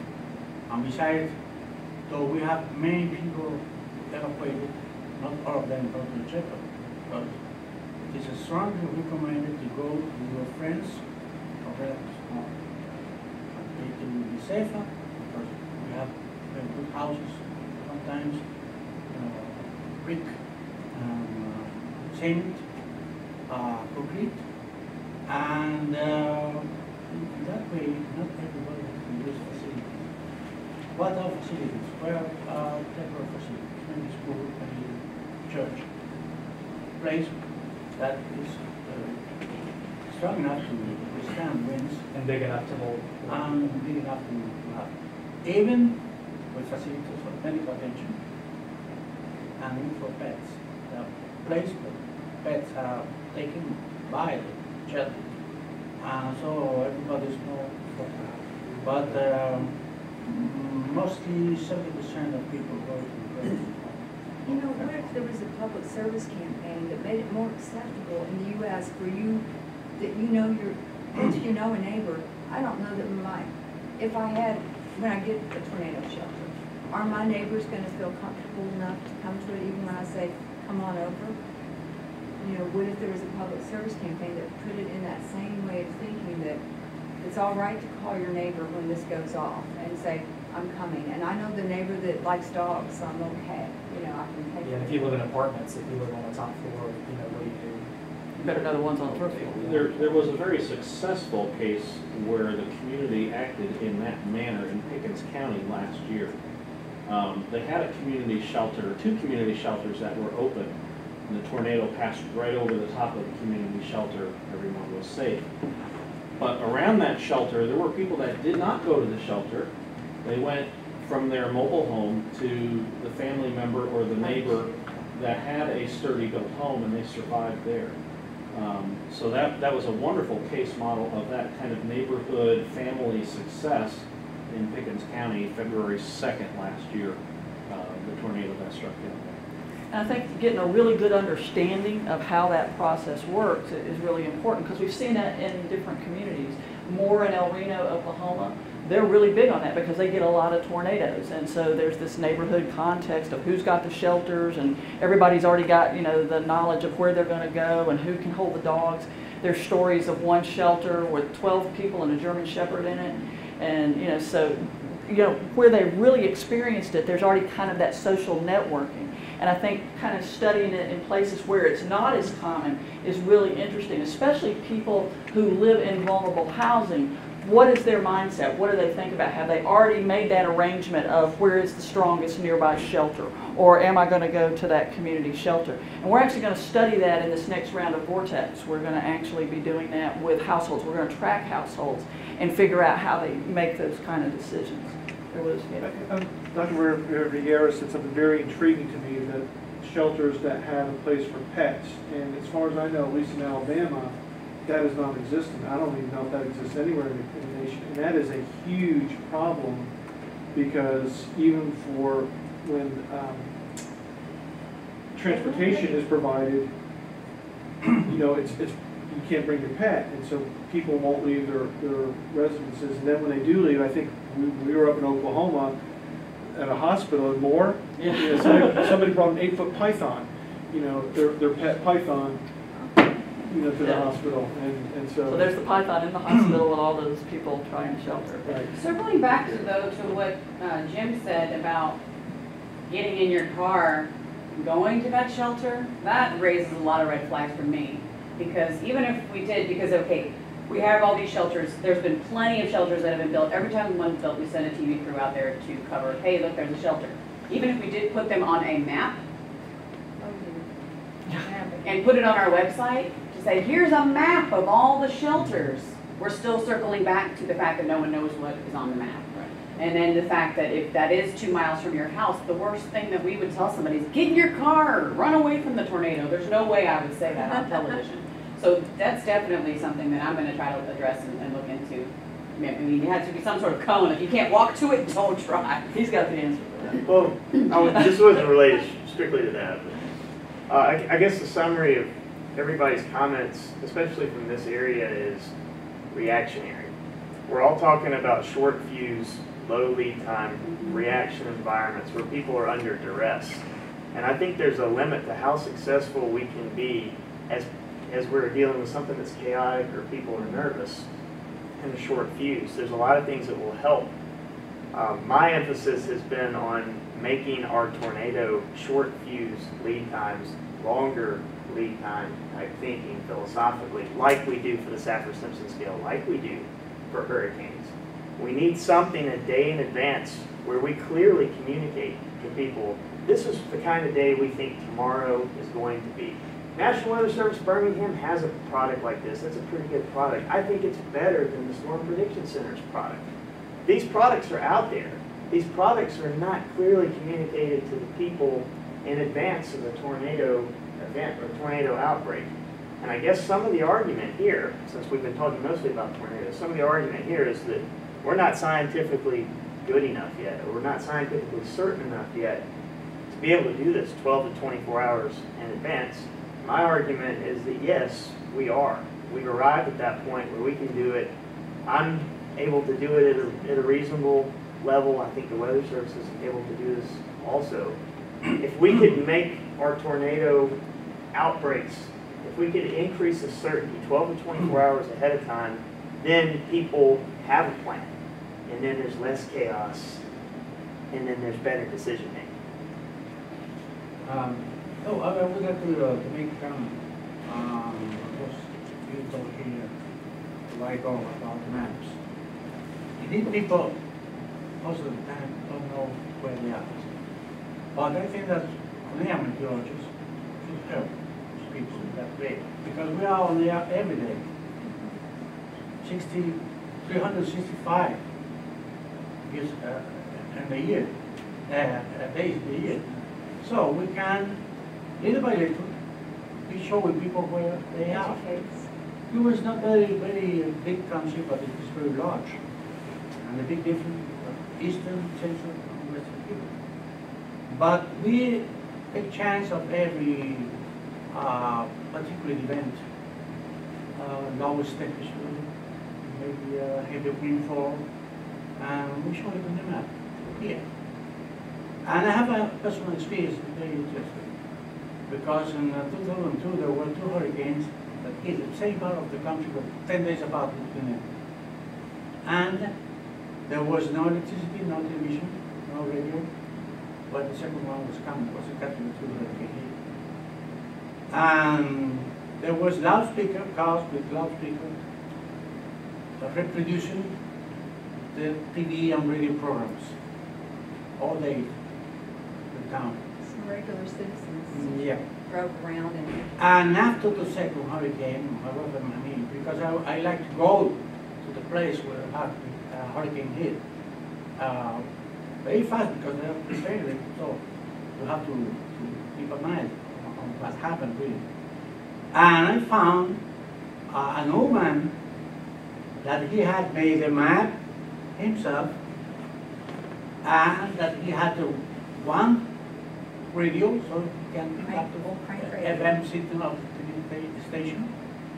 He listened to me, he put it on the map, he gathered the, the neighborhood around his home and showed the map to them.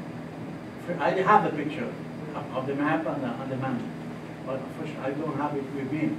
But it was very, very interesting because it shows that there are many people, amateur meteorologists mostly, that do a good job in the neighborhood, the community. maybe they could be trained more, maybe the storm chasers Yeah, here have to become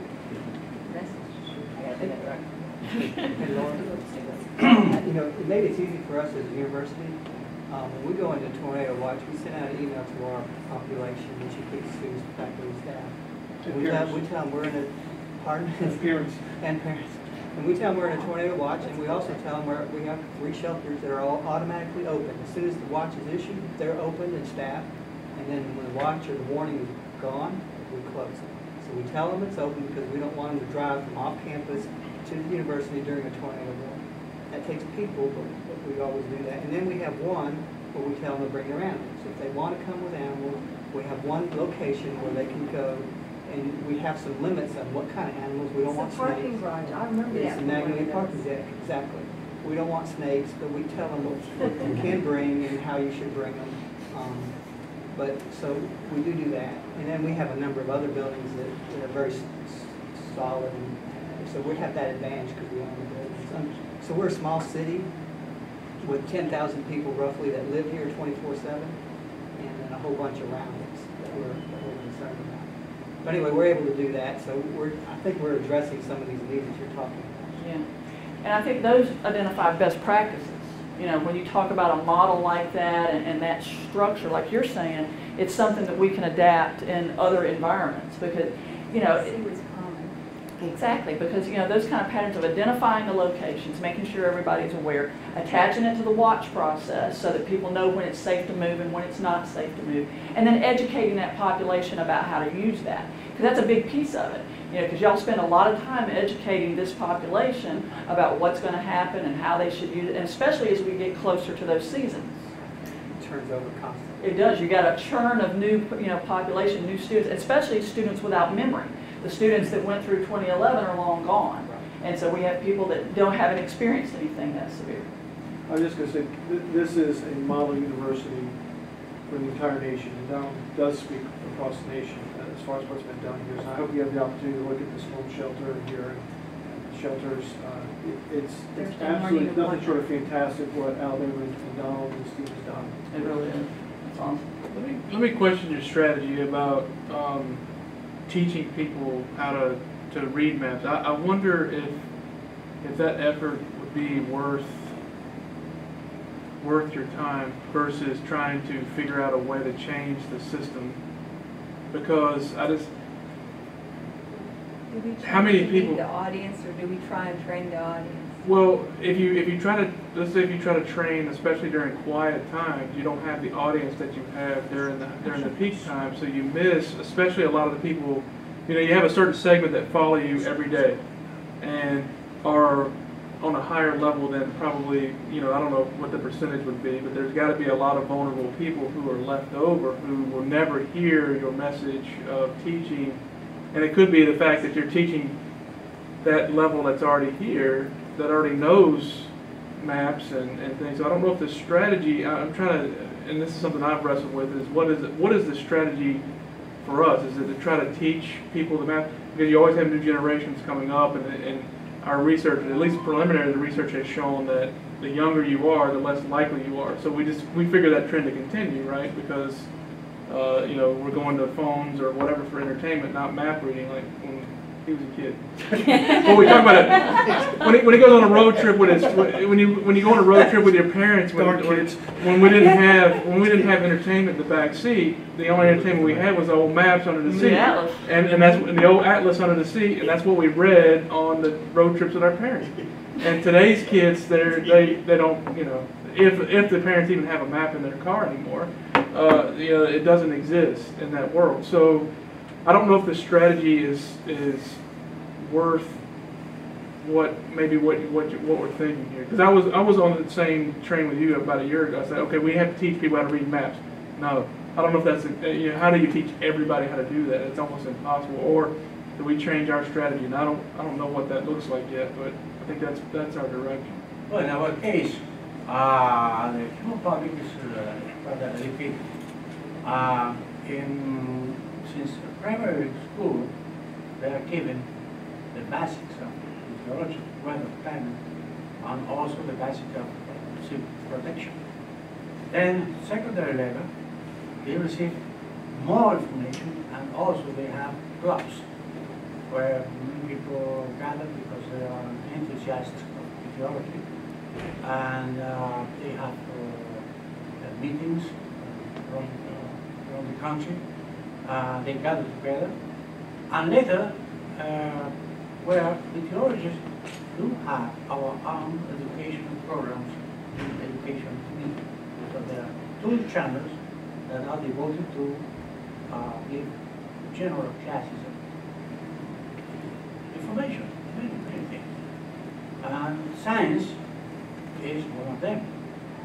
Uh, we have given classes, maybe a course of 30 classes, one hour each, by television, in hurricanes, climate change, uh, weather, and uh, they have been repeated several times. So people have a background in this.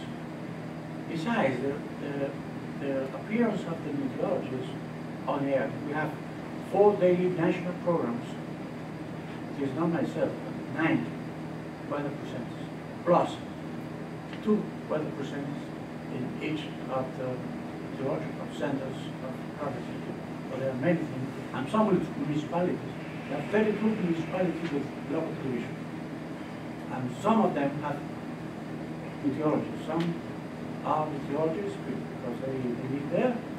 Some of them are uh, amateurs, but uh, they have a good background. So, little by little, you are given information. And general generally. So I think that in our very particular conditions, we have been done. Of course, we have problems, everybody has. Um, sometimes, uh, well, and maybe a busy person who don't watch TV, don't watch these TV classes has very, very, uh, well, not the usual knowledge, that maybe uh, low-level education people has. And that's a problem because some are decision makers. So we try to also speak with decision makers, in plain words so that they understand and can take decisions. What role does your civil defense organization in, in the country play towards unifying the preparation and, and the response to the hurricane? Well, interesting because the civil defense in Cuba, uh, well, in the case of weather, we give information to the civil defense. They take the, the measures to, to, for the preparation of, of. And all stages of disaster, disaster risk reduction have, been followed. So, education, uh, also uh, mitigation, mitigation, for instance, if you have a hurricane like Paloma to destroy the population south of the province of Camagüey, then you don't rebuild that, that town in the same place because it's by the coast, very low land, very bottom. So they it five kilometers in in here. Some people complain because they are fishermen, but you cannot replicate that vulnerability. If you do that, within 10, 5, 15, 20 years, we have the same problem. Wow, Wow. yeah. We have what's called politics, Yes. senators and So try I think that's called a wanna have a buffing zone, right? Usually by the coast, it's called a buffer. The buffer Try not to do that. And civil defense is organized by law. And it has a general staff of civil defense uh, that is mostly uh, an advisory group, but the civil defense is organized by law as the, the president of the country is the, at the center, the head of the civil defense, the head. The civil defense does the job. But in provinces and municipalities, the governor or the mayor are the head of the civil defense with a professional uh, people that uh, are helping him or advising him what to do. But that, then, then and, um, uh, in every, uh, by law, in every uh, um, industry, factory, school, for instance, the principal of the school is responsible by law that this school be protected by the advice of the defense. So this in municipalities too, uh, even at the, well, when we say it's a people's council, so uh, smaller groups of uh, neighborhoods, they have a head the civil defense to protect each other. So it is organized up to down and down to up. All right, we have gotten through a lot of this, and we've actually kind of gotten into this next slide on risk communication. And so we're going to touch on that a little bit and then, then keep moving, but we've been going for quite a while, so why don't we take a quick 10-minute break? And I want to introduce our most recent guest that came in. Mark, would you tell us about yourself? About myself. Yes. Where do I start? Well, I'm, I look taller on television. Uh, I'm chief meteorologist at CBS 42. Um, I just uh, went through 2011 also along with uh, many of the folks in here. Um, I think that uh, we're trying to put a, uh, a good product out every day that is not only for television, but also for public safety. Uh, I think television has really made a lot of strides to become more in harmony with EMA offices as well as the National Weather Service, and more of a public safety issue uh, than not. And, uh, I've been doing this for, uh, gosh, almost as long as Stefkovich, uh, about 30 years, so, but uh, it's, uh, glad to be here, so I'm really a few minutes behind. But uh, I would like to thank our, our state highway system for the log jam out. Absolutely. Yes, it's been like that for a couple of years now. Well, we're, we're glad to have you, glad you could get here. Okay, so what I want to do then is take a 10-minute break. We'll come back, we'll continue our discussion. Okay, we had another guest join us during the break. So this is Don Hartley. Don, introduce yourself. I'm the uh, Division C Coordinator for the State of Alabama Emergency Management Agency. Previously was Deputy Director of Tuscaloosa County uh, EMA, running late because we had a conference call this morning. We finally have learned, instead of everybody driving to, to Clanton to do a meeting, to actually do a conference call and talk on the phone. So, but when I left, they were still talking, so.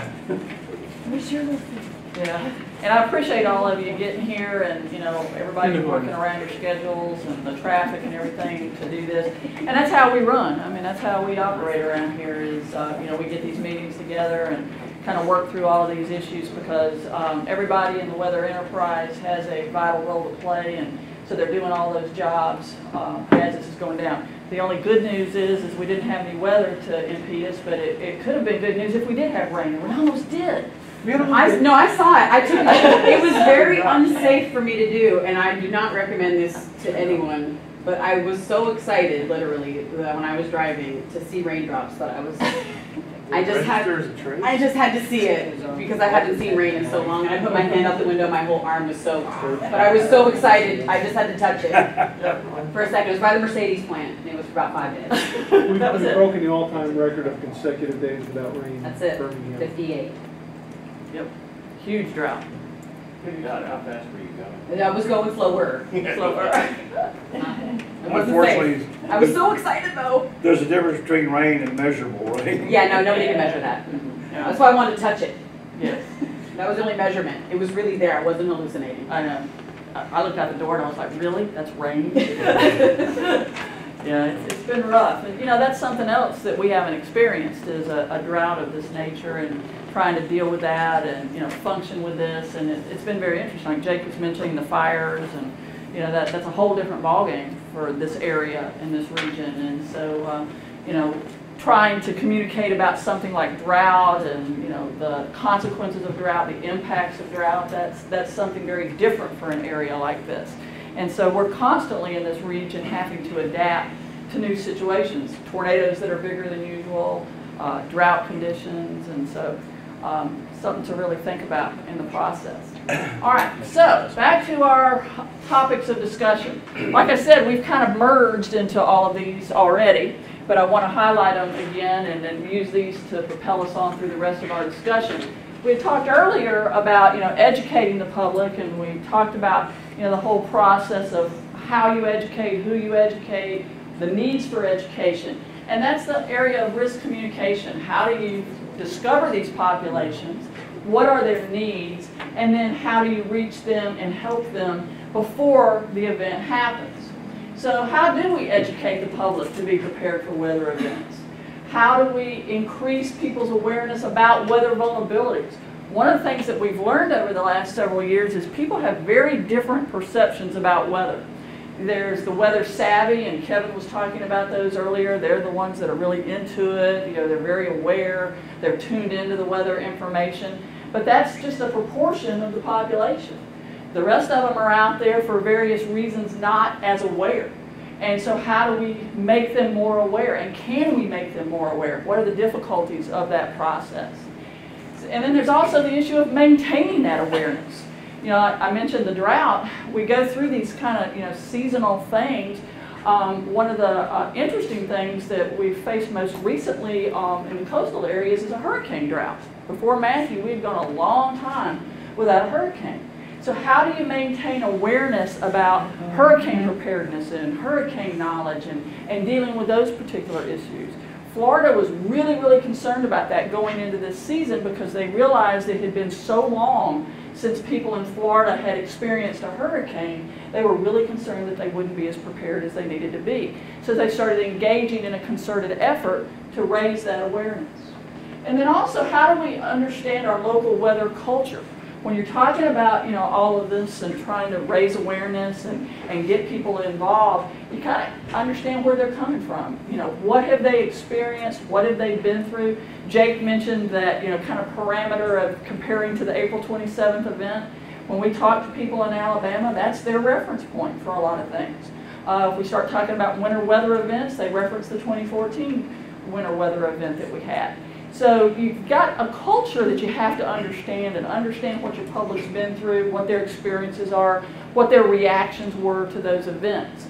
So let's use that to kind of lead our discussion about the weather culture in our region.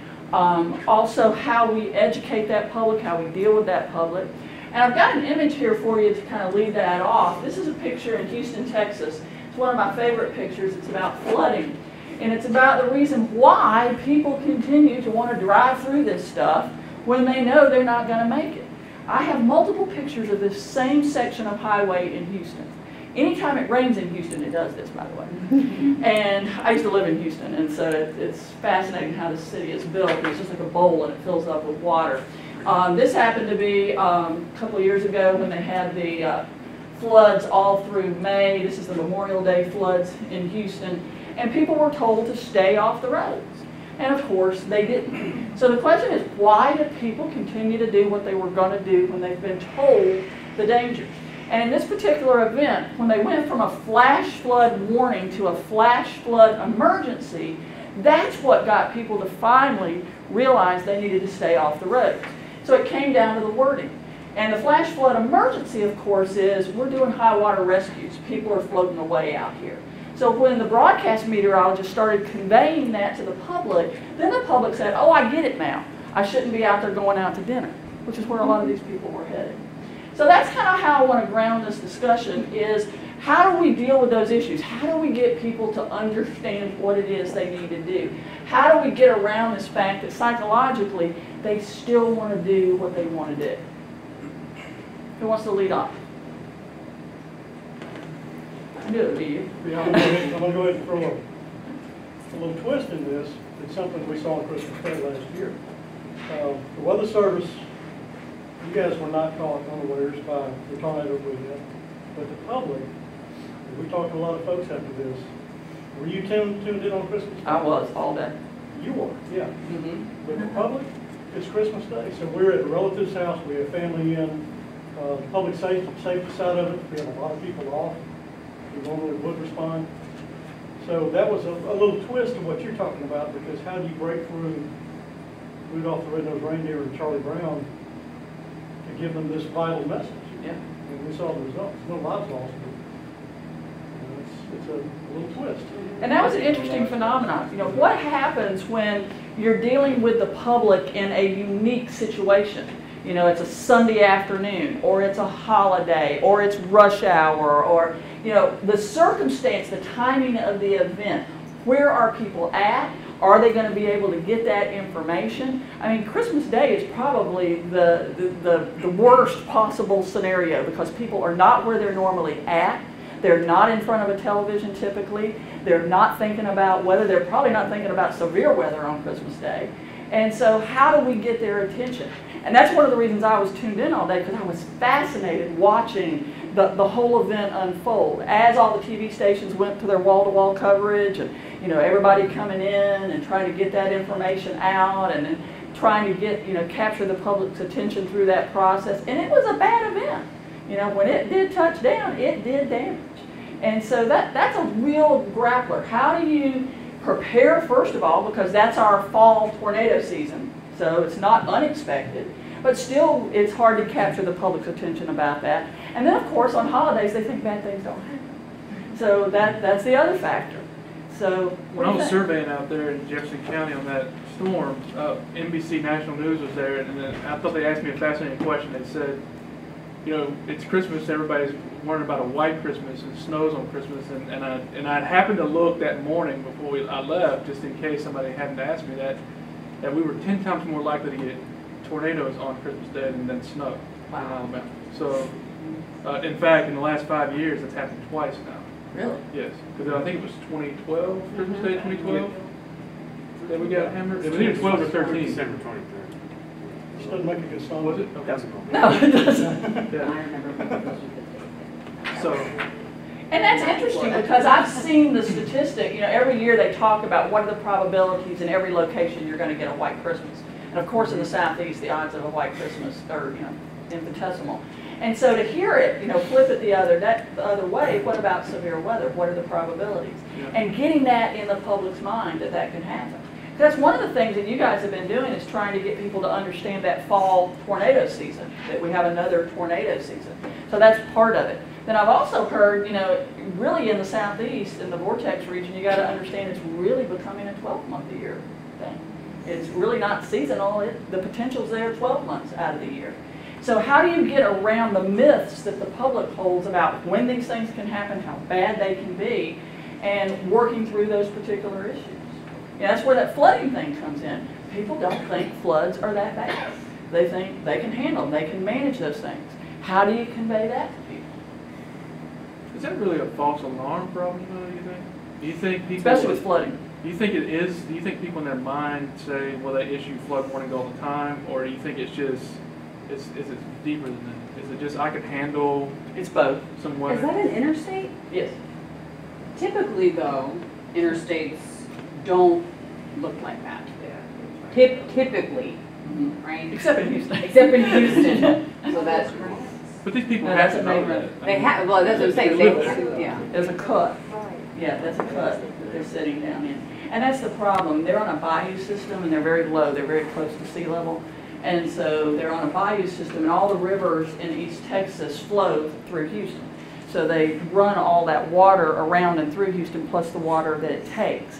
And so several years ago, I can't remember what year it was, 2001, I believe, uh, Tropical Storm Allison. You guys remember Allison? Yeah. Yeah. All Houston was flooded. Yes. Yeah, I was living there at the time. It was a mess.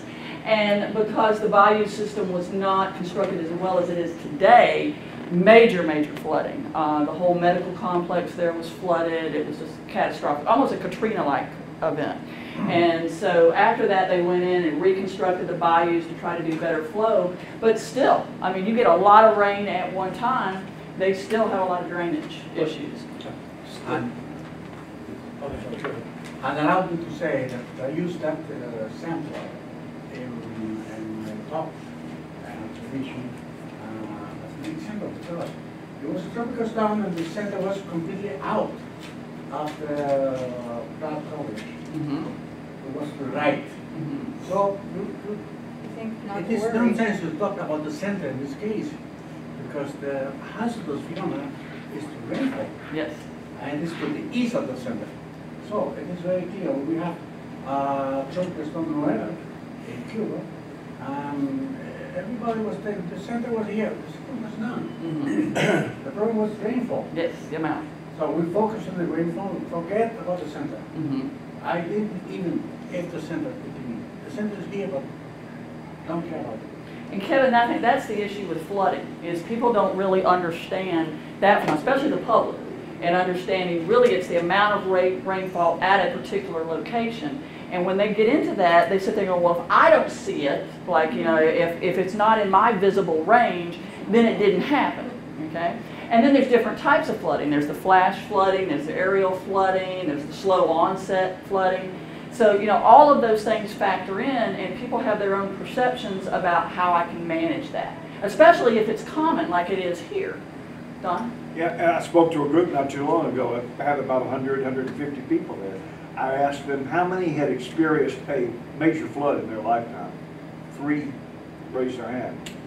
And then getting some input from them, most of them in their mind thought about flooding as being like flooding on the, the road at the intersection when the drainage uh, can't handle it, rain stops, flood goes away. Mhm. That's it. And it's interesting to get a handle on their perceptions, you know, to understand what people really think, what Yeah. they've experienced. You know, and different people in different roles experience things. If you're talking about agriculture, planning. Sorry, go back to it. Sorry about that. If you could interview the people who are in these cars right here, if we pulled them out and they said, okay, you got, you got the flood warning, how many, and- and let's say they heard it, how many of those people in those cars would say, well, I ignored it because they issue flood warnings all the time, or would they say, dinner was more important to me than the flood? Or I didn't think it would be, it was for me. Right. Right. Yeah, and I think all of those things factored in, because I talked to people in this, I did, did the service assessment on this one. And we talked to people about that, and then I talked to people I knew, same thing. And so, you know, they all said all of those different things. Some people was like, it's just more important that I go to dinner. Yeah. Part of the problem Go ahead, Mark. No, but I think that, that's a great point, is something that, that's an inconvenience. Mhm. Flooding is an inconvenience, not a threat. People look at it as, well, I can't go through that road, but I've gotta get to my kid who's Hawaii, pick them up, if not, they're gonna panic and freak out, or they're calling my phone, so I've gotta get through there. Whereas you have something that is more damaging, which it, and we all understand how damaging this is, this is one of our biggest killers. But the mindset of the public is, well, this is just water gathering, this is just flooding, I can get through that, well, there's another car that's going through. We've literally set up, I've sent people to places where there is water three and four feet deep, and you'll see car after car trying to go through it or plowing through it. Traditionally, a lot of people do pay attention, but there are other people that just don't care, or they're thinking, I've got to get where I'm going, it doesn't matter, that's an inconvenience, that is not a threat. And I think that's where flooding has always been set to the side, not just flooding. Tornadoes are exciting, they're dangerous, they're blowing stuff, thing, blowing things around, and I think that's where we have to start to focus more on the importance of, you do understand that if this happens. Now, not every, every region in our state, I don't think every region in our state is necessarily a flood prone area, but where we do have areas that flood or places that, you know, Village Creek used to be one, I think they fixed that problem for uh, a, number of years ago.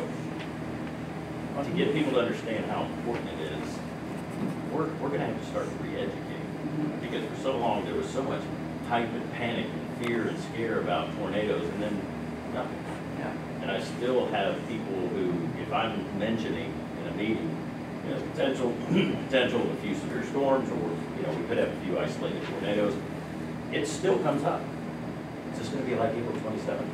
That still comes up. And if not, that's like, okay, what's not gonna be at this threshold, so we're okay. And every event is important, but publicly, the, the panic and mindset that was put in for years and years is now gone. Mm-hmm. And so now they've set that as the bar. Yeah. We have to re-educate people on the fact that, and that's, that's why I think it's important, getting the word out, doing it properly, with an even tone, because if not, that's what happens. Yeah. Yeah, I think it's really important to understand the inconvenience factor, because that's the psychology of it. It's the inconvenience of, especially if it happens a lot. In Houston, it happens a lot. If you heated this, you wouldn't go anywhere.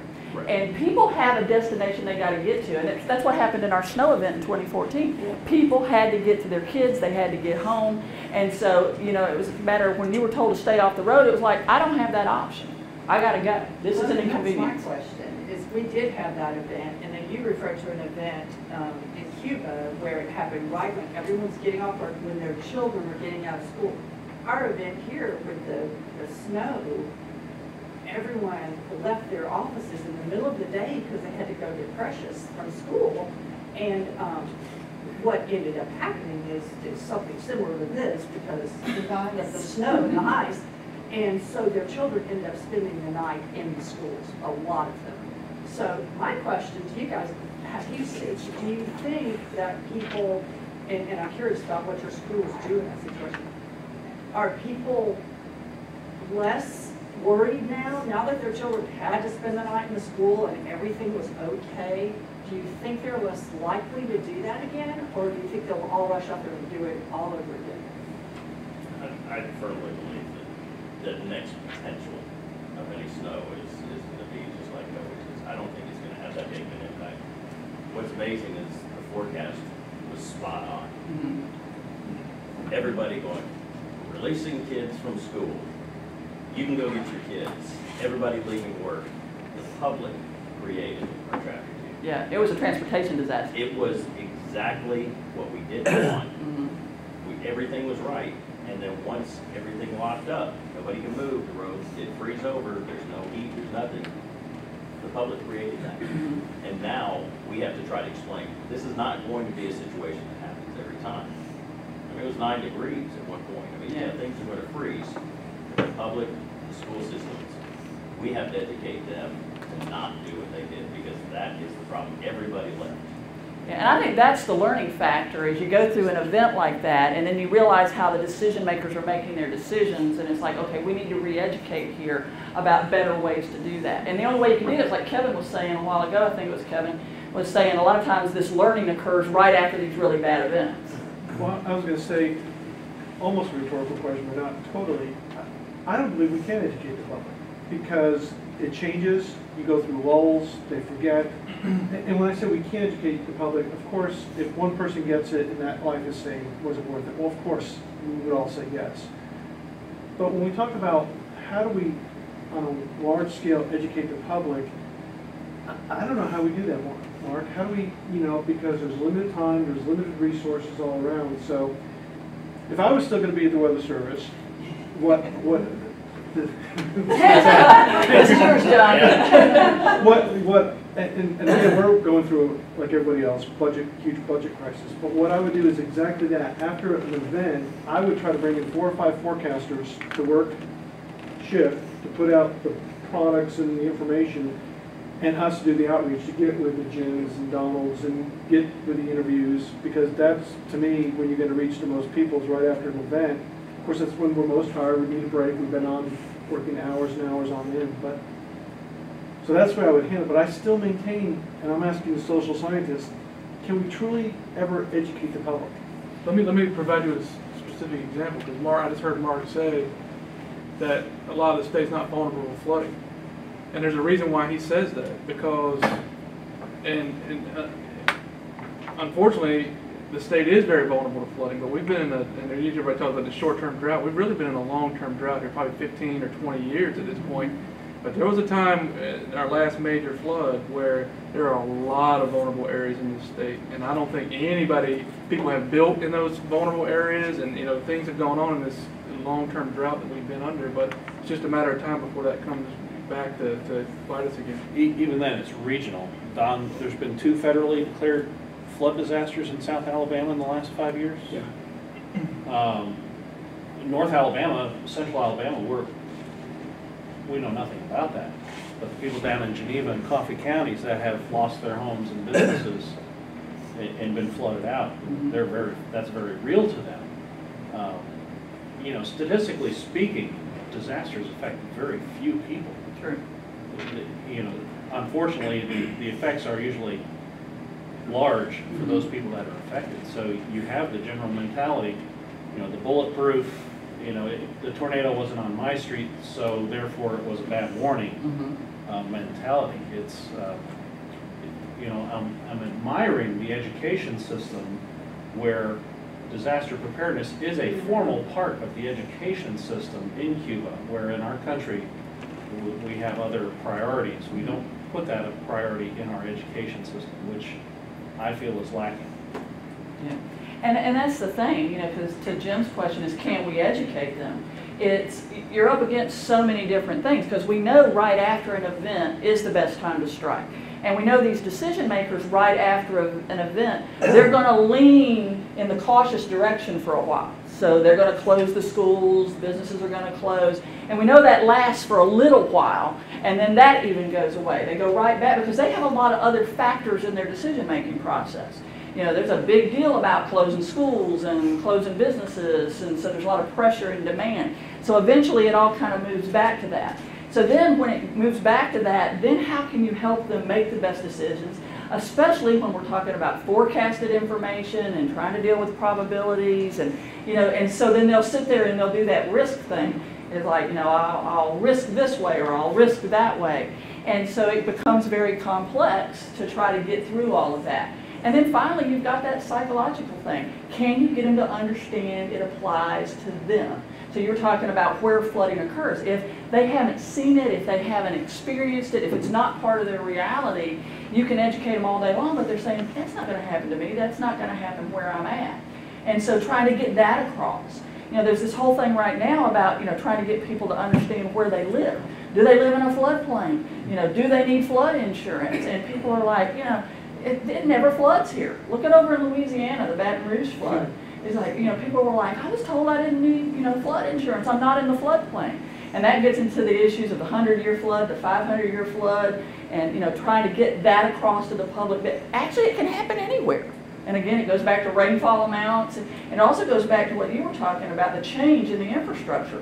What didn't flood before, before may flood now because of changes in development. Things that never flooded before will flood now, so we don't even know. Is now the time while there is a drought? I know that sounds completely obscure, but in the event we have a three-inch rain that shows up, we finally get rain in here, ground can't absorb a lot of that. I mean, is this, is this the time that we could do it? Do Begin what though? to- That- That's the thing is do what? What do we do? Because we don't know, we, we won't know what we don't know. So, But in the advance of, say, our next system that would come through, that would bring us a, a substantial rain, we're gonna, we're going to have a whole lot more runoff than I think that a lot of people realize. And If it's people are not If familiar. it's a substantial rain, that's, Yeah. That's the key. Uh, Going back to decision makers that you just mentioned, how do we educate the decision makers? And I'm thinking specifically about school districts. In Jefferson County, we have 12. It's always been fascinating to me to watch the decision process and then finally they fall like dominoes. Yeah, one goes and the rest go. Yeah. How, how do you educate the people that have to make decisions at the schools and businesses and everything else? Because, as you mentioned, for the winter storm, tens of thousands of people suddenly got dumped out on the, uh, roads that, uh, killed the infrastructure, just couldn't take it. Yeah. So you're talking about educating the public, but how do you educate the people that make the decision and kill the places?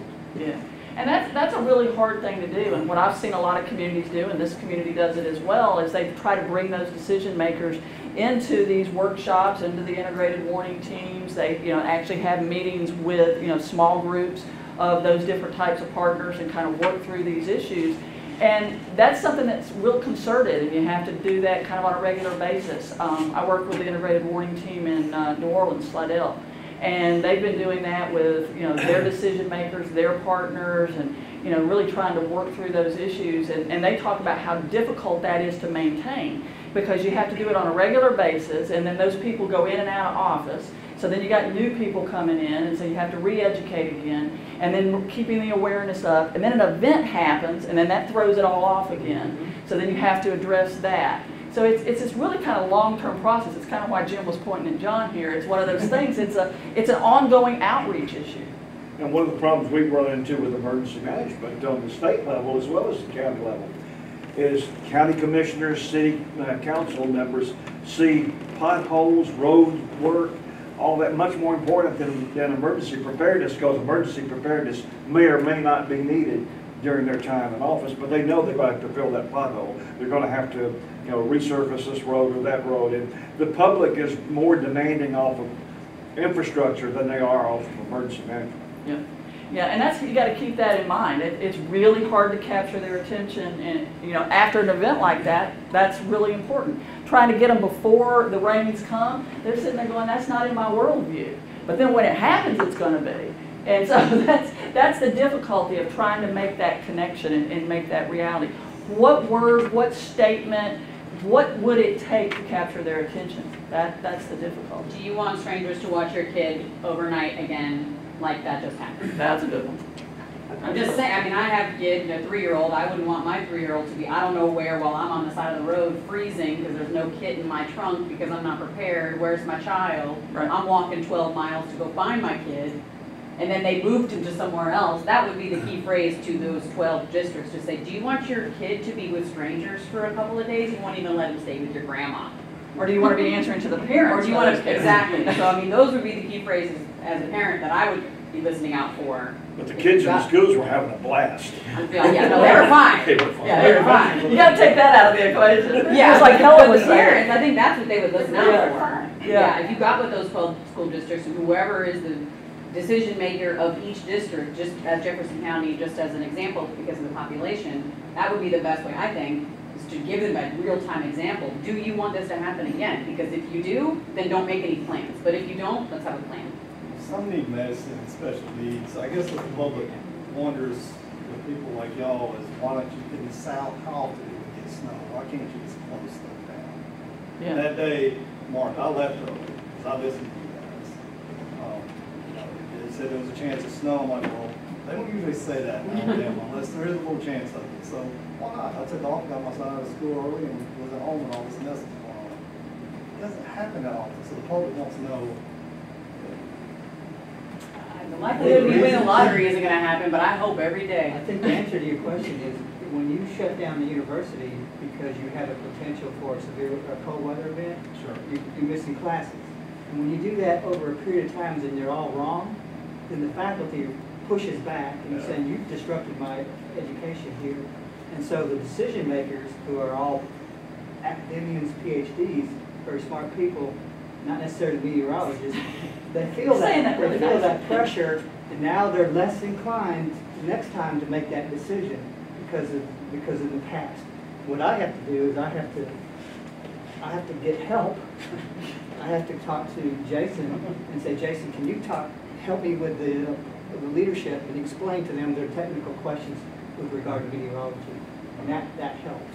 But too many false calls on their part stops them from wanting to make that decision. I think that's real important, what you just mentioned, is you get the meteorology people to help you with that explanation. Because in a lot of the service assessments, we've seen that, where the weather service or an on-site meteorologist is used to help explain what this means.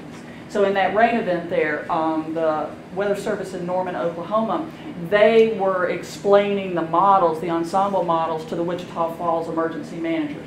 And they were like, okay, let me bring all my government officials in here to listen to this explanation so they can understand why we're going to make an evacuation order. And then they were like good with it. It was like, okay, now I understand, I understand the need for it. So it's that dynamic process of trying to get that information into their heads and explain it. And then also, again, goes to the credibility factor. You know, it's like a meteorologist is saying this. And then the meteorologist has to explain that in terms that the government official can understand.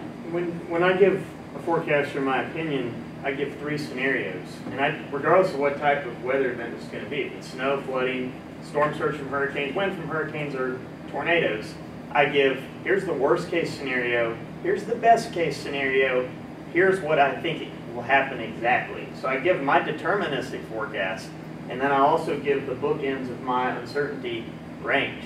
So if it's, if it's a tornado, and we're talking about communication, I say, I think the worst we could get tomorrow is EF3.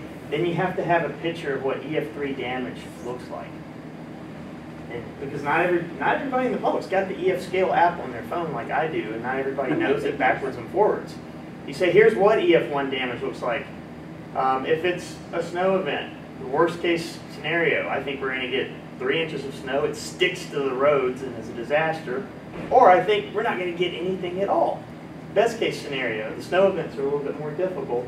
Um, but I like to try to bookend that so that people understand the thresholds on either side. And it, I think it really helps to have visuals. If you said that's the worst case scenario, you've got that picture, that should get people's attention more so than just safe.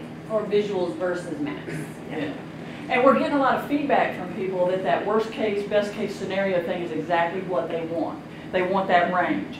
And they're gonna make their decision within that range. And then again, it doesn't hold anybody responsible in terms of where that thing falls. The decision maker then says, okay, I'm accepting the risk because I'm saying, what will I tolerate? What's my risk tolerance on that range? And that's what Wichita Falls said. They said, we're gonna make that choice to evacuate based on the worst case scenario. They use that, the worst case scenario.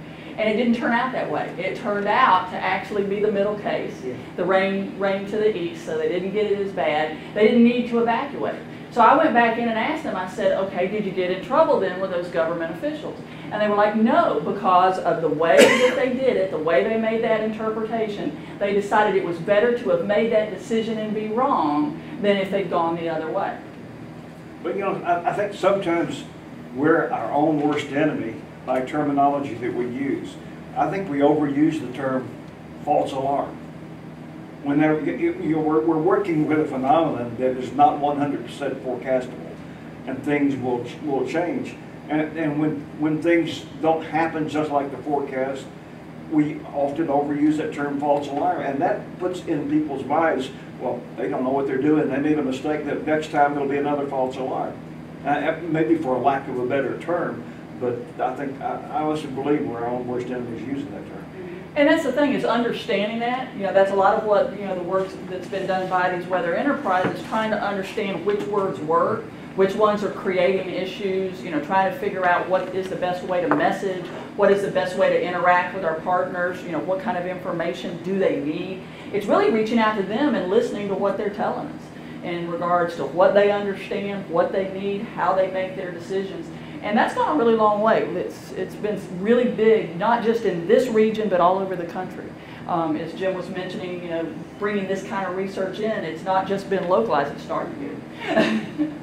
But, Also, uh, for a product of circumstance, I understand what Mark's trying to say, that we, we were informing people. We put such a heavy weight on our infrastructure because everybody got in the car at the exact same time and left to go get their kid. Yeah. And so that happened, and traffic mm. takes time, and then it froze, and no one could get anywhere. So it, when, it it never hurts to have a plan, this is winter weather preparedness week, so we're talking about plans, and we're giving people information about winter weather.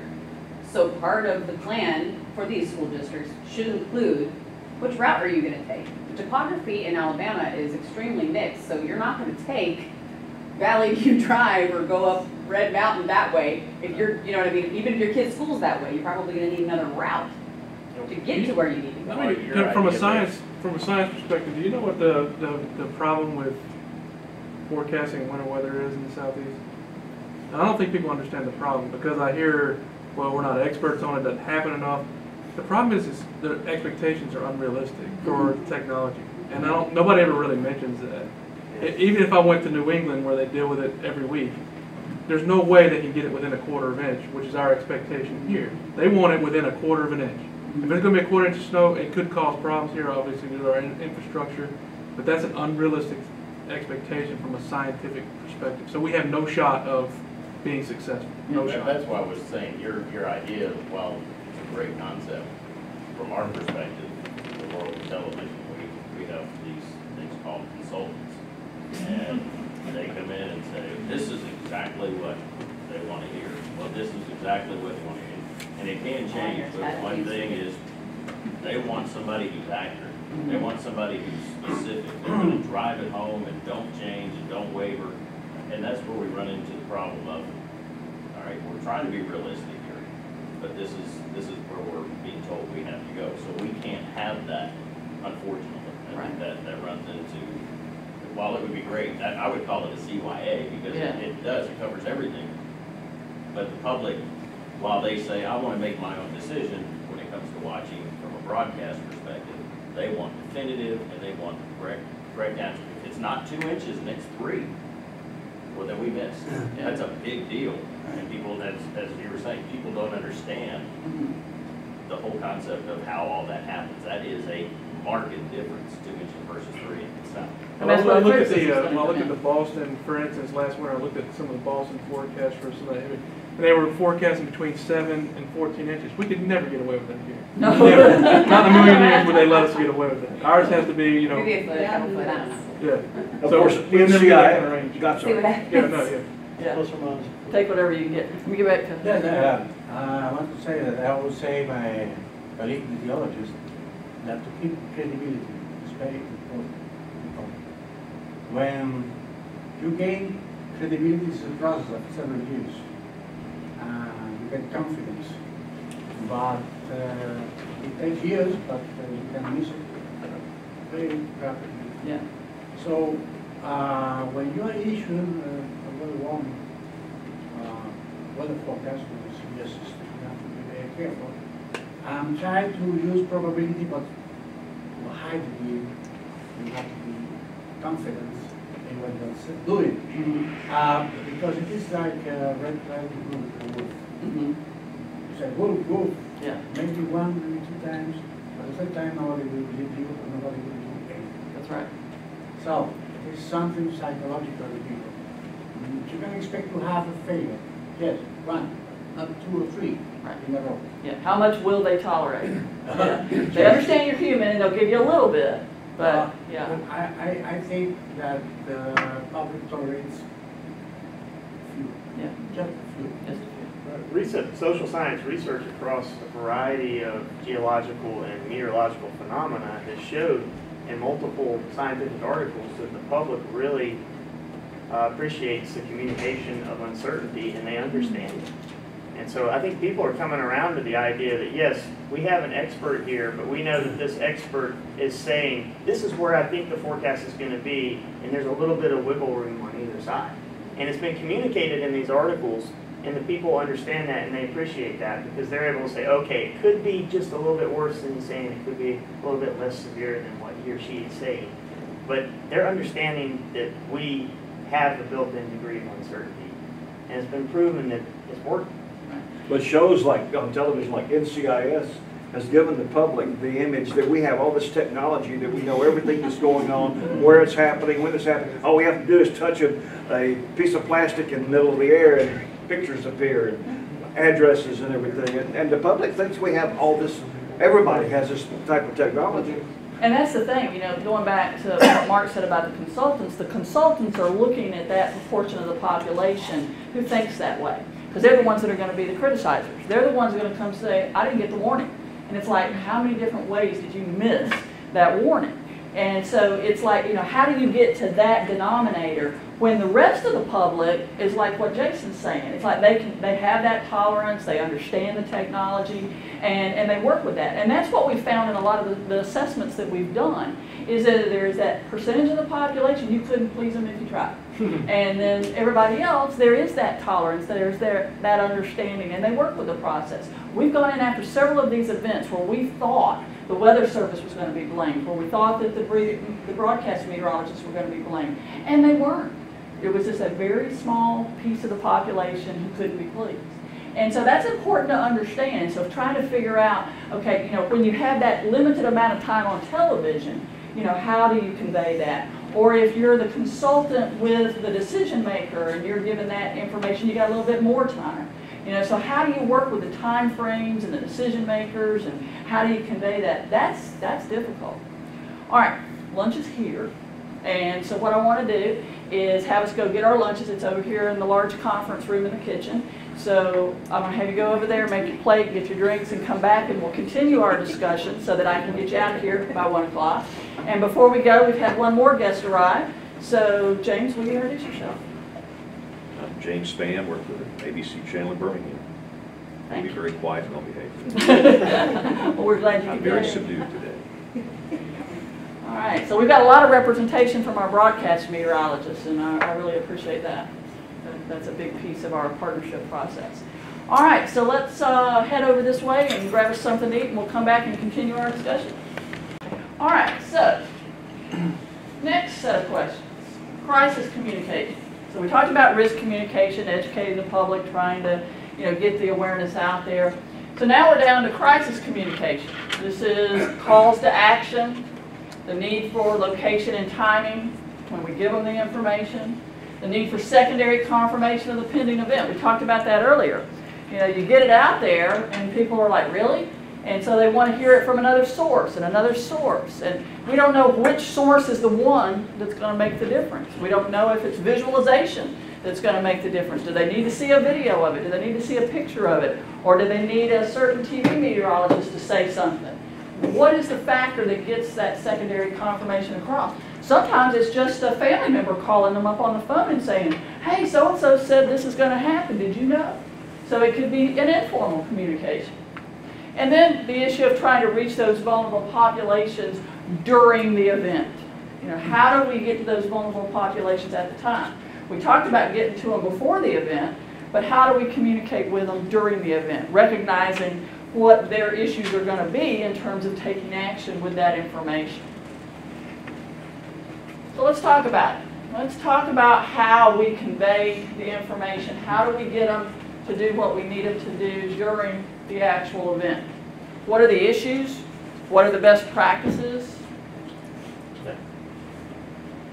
Well, going back to what you said about the time of day, whether it's a holiday, what day of the week it is, what time of day it is, that is going to heighten or lessen their awareness. So I mean, that should be in the foreground at, at any conversation about preparedness. Mm-hmm. Is, is it a Monday, is it a Wednesday, is, are we coming up on a holiday? Because even if a holiday is on a Friday, people are thinking about that holiday on Monday. Yeah. So, so I think that that's, That's one of the things that I, I have been kept, kept keeping in the back of my mind since you made your discussion two years ago about the psychology of perception. That's, that's the first thing that I think about now, is that, okay, what are we dealing with? What are people, what are people thinking about mm-hmm. to disrupt their thought process? Right. To make them listen. Yeah. And that means, you know, you got to step back from it and go, okay, where are we at in time and place? You know, what is actually going on in this particular environment? There was a tornado in Hattiesburg, Mississippi a couple of years ago. And it was on spring break, on a Sunday afternoon. Mardi Gras was going on in New Orleans. So most of the students were off campus. That made a huge difference in, difference in terms of impacts. If they had been in school, if they had been in town, there would have been a lot more impacts. So understanding where people are at and what people are doing, which means you got to have a lot of knowledge of what's happening in your community. It's not just enough to know what day it is, that this might be a holiday, but it's also understanding where are those populations. So like in the summertime, you know, vacationers are all up and down Interstate 65. We know there's a large population of people out there on those roads, especially on Saturdays and Sundays. So those are very vulnerable populations on the weekend. So understanding where your populations are at, where they're moving, what's happening, and what makes them more vulnerable because of that. You know, for example, in the summertime, being on the coast, people are not familiar with coastal vulnerabilities. You know, people that are going to go take their cruises and go to resorts during hurricane season. Yeah, Jim likes that one. That, that's always amazing to me. Especially the people I know that are going to be taking cruises, they'll come to me. Oh, they come to me too. Yeah. Right, or- yeah. And say, you're taking a cruise in hurricane Right. Good luck. Yeah, odds are. And so that's the thing, is trying to figure out, you know, from our perspective on the partner side, as well as the public's perception of this. Do they realize what they're walking into? Do they realize where they're going and what the potential vulnerabilities are? Especially going into snow, winter weather areas. Do they understand how to deal with winter weather events if they're not familiar with that sort of thing? That's one of the problems with having snow events in the southeast. We're not familiar with snow. We're not a snow culture. So understanding that. You know, understanding in that 2014 event that people were going to be on the roads and people in the southeast don't know how to drive in that kind of stuff. Or rain. Or rain. Yeah, I saw a post um, earlier in the week talking about what it was going to be like when it first starts raining in terms of trying to drive on the road surfaces. Yes, you know, exactly. That's what I expected to see this morning. I thought they're going to be all over the place with just this little bit of stuff. But reminding people, you know, and so that's something we've got to be aware of is when we do get those first rains, you know, making the public aware that it's not going to be like what they're used to. They've forgotten what it's like with rain on the roads. And that's the other thing too, is like, you know, people, they drive like there's no water on the road. They continue to do what they're going to do. They don't take that caution. They don't deal with that vulnerability. And we still have a considerable number of people that equate team loyalty with sitting in the stands during a tornado warning or a severe thunderstorm uh, warning.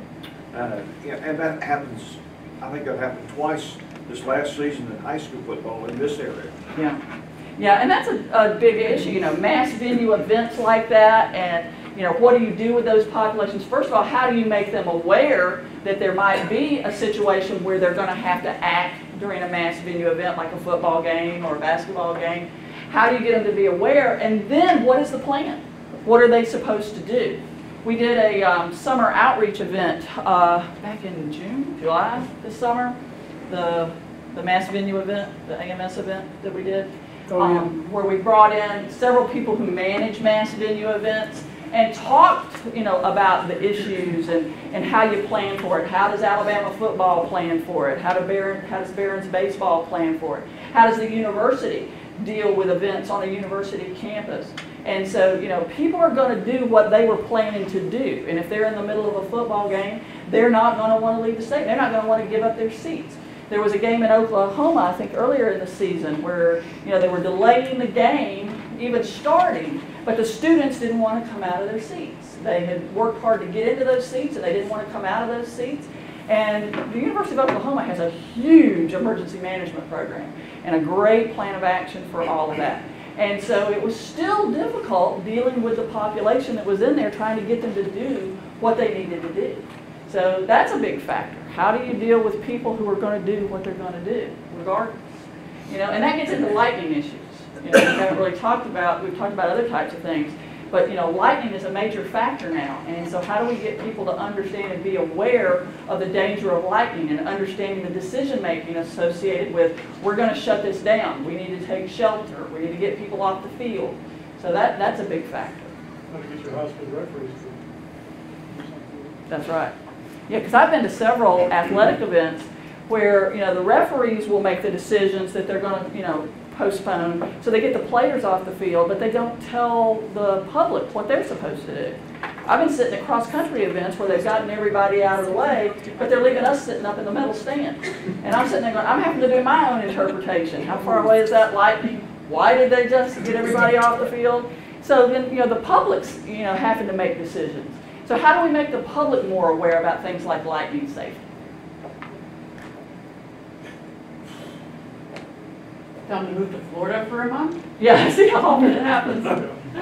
Yeah. Well, I guess they don't really realize, you know, and I know, you know, we really heightened in awareness of this Little League Baseball teams and, and soccer teams. You know, the referees are, are great at that. I mean, I've sat out at a baseball field for my, yeah, I know, my grandson for at least four hours waiting for it not to lightning every 30 minutes until it stopped. You know, so I mean, there's certain circles of people that are very heightened and very aware of the risks of lightning and where you need to be and what you need to do. Because what we were doing was sitting in bleachers waiting for the baseball game to start, which is where we tell people not to be.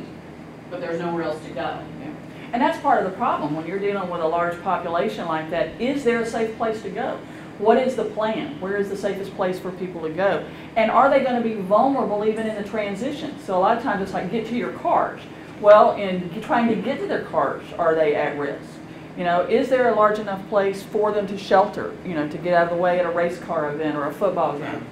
And we'll tell Don, Don, you cannot comment on this. One of the largest fears in this state would be a race in Talladega. Oh, yeah. Sorry, Don, I know you're thinking, Don, but no.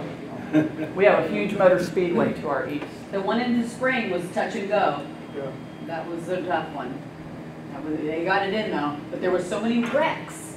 And there wasn't hardly any wrecks in October, but there were so many wrecks at that race because everybody's heightened sense of awareness of what was about to happen. And as soon as they got finished and he sprayed the milk everywhere or whatever, it came down so hard that you couldn't even see ten feet in front of you. Me, I was already. 100,000 people.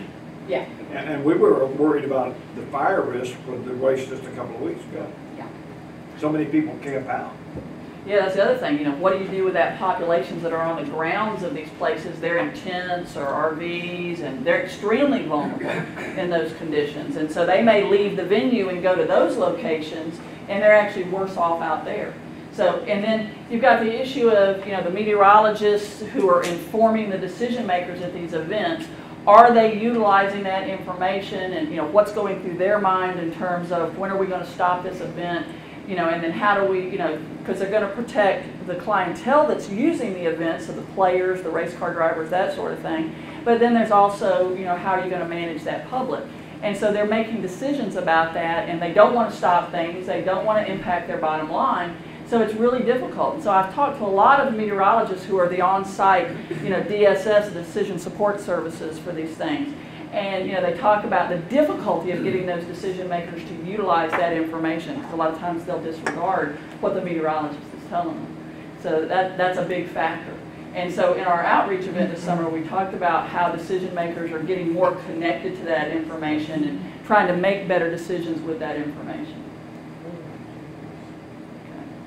All I'm going to bring this up again, I don't beat a dead horse, but even, you know, part of the action plan or to take action when these days approach is from a forecasting standpoint too. And for, for years and years, we've gone through this scenario where, you know, Facebook has opened up and social media has opened up this avenue for people to get better in touch with us. And, you know, a lot of times it, we'll put out a forecast, a hazard map, let's say five days in advance, and they'll say, okay, what does that mean for my city? Because again, it's a, that, that map issue keeps coming up, and for years I didn't understand why they would ask that, because I would, my initial reaction is to say, well, look at the map. But they, they can't look at it because they don't know what they don't know what they don't know. So, uh, I'm glad he brought this up. This, this is huge. I'm you, you're, I- I have to, I think, I have to rethink everything. I honestly do, because what, what do we, what do we do in those Facebook? We throw up maps, right? yeah. Throw up maps. Most people in this state, it's Greek. You might as well be throwing up Russian. Mm-hmm. And, and it's sad, but it's true. But that's the way it is. So what do we do? Because what they're gonna do, you post a map, what's the next thing it's gonna be in? What about Cullman? What about Oneonta? What about Dora? What about Jasper? What about Opp? What about Eastaboga? What about Andalusia? Right. And we don't, you know, can't produce a product for every little town. You can't, what do we do about these people that can't understand this? But that's why they're my- asking that. Right, my whole mindset has been to throw maps up there. Mm-hmm. I don't think they're affected. So what do we do? I've got to rethink this whole thing. Mm-hmm. That what, you nailed it, and we figured that out thanks to you. So what do we do? Instead of these maps we're showing on TV and on Facebook and on the tweeters and everything else. Yeah, and that's the issue, is first of all, understanding, you know, that, you know, different people understand things differently. There are some people that are map savvy, but a lot of people aren't. There's a generational issue with map savviness, there's a transient issue with map savviness. And so, you know, you can break down all the reasons why. So then the question is, like we were talking earlier, can you educate people about where they are? Does that work? It's gonna work for a very small percentage. so. Yeah, very small. It's not gonna make that big a difference. So then, how do you convert the information on a map to something else that they'll Is understand? it, That's, is it the text narrative? Is it, Was it, is that tied directly, in- is it tied directly into why people only take action when they hear their town called? Yes. Because they don't know where they're at? Yeah. So they have to hear their town. that's right. They've gotta hear something specific, either the town, or a landmark, or a roadway, and that's the factors. You know, in a map, are those things there? The landmarks aren't shown on a map. Typically, we don't show the roadways except the major roadways. And so do we have to provide those kind of details? And we've experimented with that with the Storm Prediction Center. We've actually worked with them on what are the layers to a map and when does it become so confusing that people can't tell what it is? And when you start adding those layers, it gets so dense you can't tell anything. But they can't even read the base map. No. I mean, There's no data on there at all. They can't understand it. So- Right. Typically, people give directions by landmarks. Yes. And that's, and we, we do that during tornado warnings. I- We do that, but I'm talking a winter storm, a, a, a- a convective outlook, five days in Well, advance. the run up to tornado warnings is the hazard maps, and they have to know that they're vulnerable, or Yeah. they won't be, Right. Right. they won't give be them that. in, in that zone that they need to be in. During the warning itself, I think we're all pretty darn good at that. We- I understand that, but leading up to it, Yeah, the process, it's a- it's a process, it's not uh, an instantaneous thing. I think this guy with the pictures, I mean, that's, that makes sense to me on a basic, even uneducated level, level, when people read books, they want books with pictures. So, I mean, that's the only thing that's relatable, to show them a photo, to say, this is what could happen. If I say, okay, this is a tornado that could potentially be an EF three, here's a picture of what an EF three will do to your house. but how do you find the spatial risk? I mean, if somebody in Cullman is at risk and somebody in Montgomery's not at risk, it- it- even a text narrative doesn't work. No. It's just, it, it, I, I'm telling you, this is my biggest problem right now. Yeah. Is trying to resolve that, because before you know it, it's gonna be a busy again. We're all gonna have snow, and we're gonna have all this stuff, and we throw these maps and, I- and, and I think our maps are pretty good most of the time. But most people can't read it. It doesn't matter what we think, it doesn't matter how we consume it. Everybody in this room can read maps. We live looking at maps. So, how- and, and, and do I go for the common, lowest common denominator? The, large percentage of these people in the state can't use those things. I'm struggling with this. Mm-hmm. And I- That's what I'm saying, we, we're gonna get funding to see how widespread this problem is. Is But the the early, in the, the early in the implications are nine out of ten high school graduates can't figure out where they But we all are. have a device in our pocket. Most of these kids on this campus can't read a map. Atlas- No. When I looked at Atlas as a kid, it was because dad had it in the car. We were trying to, now every single person, probably on this campus, has maps in their. Yeah, they're waiting on, on that But voice they, but they follow to it blind. Turn Yeah. They have no idea what, they, they wait for Siri to tell them where to turn and what to do and how to get But there. I'm saying, can you use that? Can Well, you- I mean, think- like, James, you're really good at landmarks. Like when you said Lake Tuscaloosa one night, I was like, holy shit, pardon the language. Yeah. Because I live on, I lived on Lake Tuscaloosa at the time. It hit home. It wasn't just Tuscaloosa. To me, that's the easy part, is during the tornado warning. When it is Yeah. down, we are looking at it, I will, I'll tell you if it's a Walmart or a barbecue joint or a Jim Bird's farm, but, it- but the day before, Yes. when we're showing the risk, the, the SPC guys or whoever, we've got the risk maps. I think they're worthless to most people, and, and and my whole mindset has never been like that. Because that's what they go back to when they try to hold us accountable. They say, you didn't tell us leading up. Right. And Okay, they know but, it's and coming. that's, that's But- but where they the want us to say, is. you know, Huntsville, yeah, you, Huntsville. But if, if you go through every town of these DMAs or these CWAs, Mm-hmm. we'd be on there for hours just spitting out these towns. And it, it, it's very frustrating, and I honestly don't know what to do. It- I come with a spirit of total humility here. I don't know what to do. Some, there's got to be some solution that you can figure out, because this is not my business. We, we need a study on people in our market, who, who can read these maps and who can't. I'd say it's eighty percent can't read them. Ninety. And that's what we're gonna do. We're gonna, we're gonna have funding to do it Yeah. next year. So, so we found out it's ninety percent can't read maps. We can't use maps anymore. So We're what do on we do? television. That's all we do is use maps. So, so, Yeah, what- what- so, so you got a little two-minute segment on television where you're gonna have to call out five thousand towns. Mm-hmm. You're in a risk and you're not. You, you li- I can't do that. So you need to figure out something for us on what we're supposed to do. I don't know. And we're experimenting with some of that stuff, um, because I've, I've provided this information to different regions, and we've actually started looking at some ways to do this. And so over in Atlanta, talking to those broadcast meteorologists over there, I've talked about this issue. And so we've talked about some strategies for dealing with it. And we go back to the risk communication. So what they're attempting over there is to actually, in the lead time, when you when you're getting ready to do the hazardous outlook, you put out in your social media a map. And it's just a map. It's not about the weather or anything. It's just a map, and you remind people to figure Find, out. find themselves on That's the map. right. Where's Willow? Find yourself. Try to make this location. And they're experimenting with different ways to put that map in social media. So is it just a blank map with the county locations? So they've experimented with that. And they're seeming to have a little bit of success with that, using the social media and then tying in as it gets closer. Because then they bring in the hazardous outlook with the map. Then they put that overlay, and then it goes more into the I specifics. wonder if there's an app that's got counties Well, that's where you was can get the GPS wrong. position. Find where you are. Where they don't have to find my think iPhone, about right? it, it's just there, and then they can screenshot it or something and just have it. That would be really cool, like, like, the- like the Maps apps don't have the counties on it, It's- Right. yeah, it finds you really easily, but it doesn't show the counties on there. Yeah, it doesn't give you your, And I can tell you how that started, lines. you know, when that research started, it was after 2011 up in Yeah. DeKalb County, that Rainsville F5 up there, when a lot of people said they didn't know it was coming. mhm. And it so happens that what, uh, what April determined was that at the same time that was happening, they had what was left over of the Phil Campbell F5.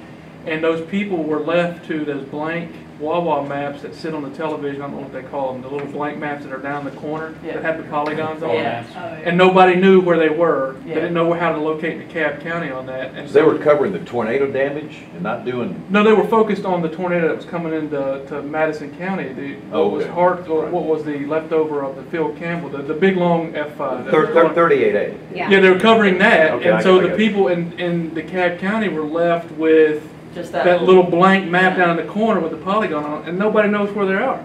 So Mm-hmm. that, they didn't know from a television perspective where, where they were, so they didn't know it was coming. And See, I, that's I don't, I don't think those maps, are they're as Yeah. useful as Right. blanks on a bull. Yes. Especially if you don't know how to read a map. Right. I- They definitely are. Well, now you're cutting out a piece of it. Right. You have Right. no reference point to it Right. at all.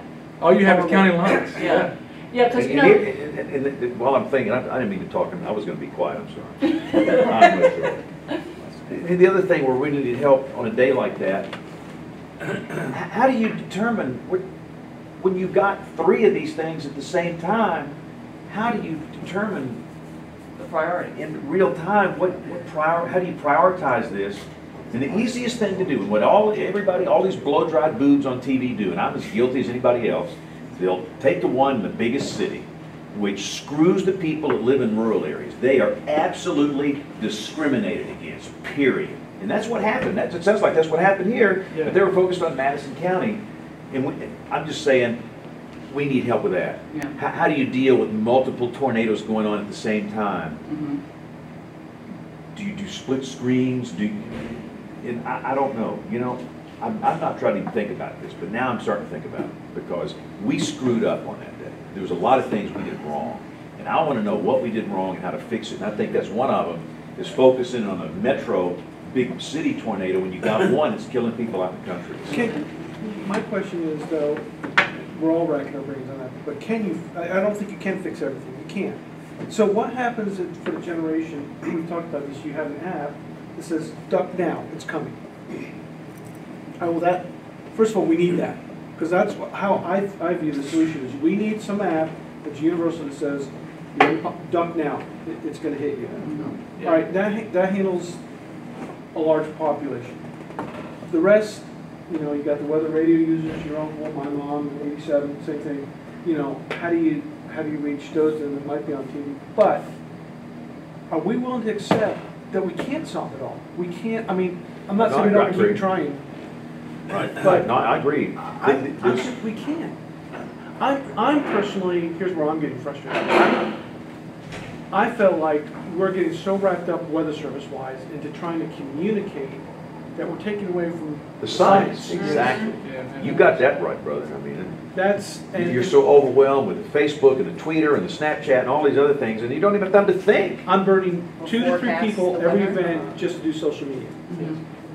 Yeah. But if it, if it does turn out, if the research does turn out that, let's just say seventy percent of people struggle with reading a map, we, we have to make changes. If it's that many, we're gonna have to figure out a different solution to this. Mm-hmm. But I love that idea you gave of putting a blank map in advance and saying, all right, here's your Find chance to figure out where you are. Yeah. And, and you know, the other thing we have to do is be responsive on social media, and I'm so frustrated when they ask a stupid question.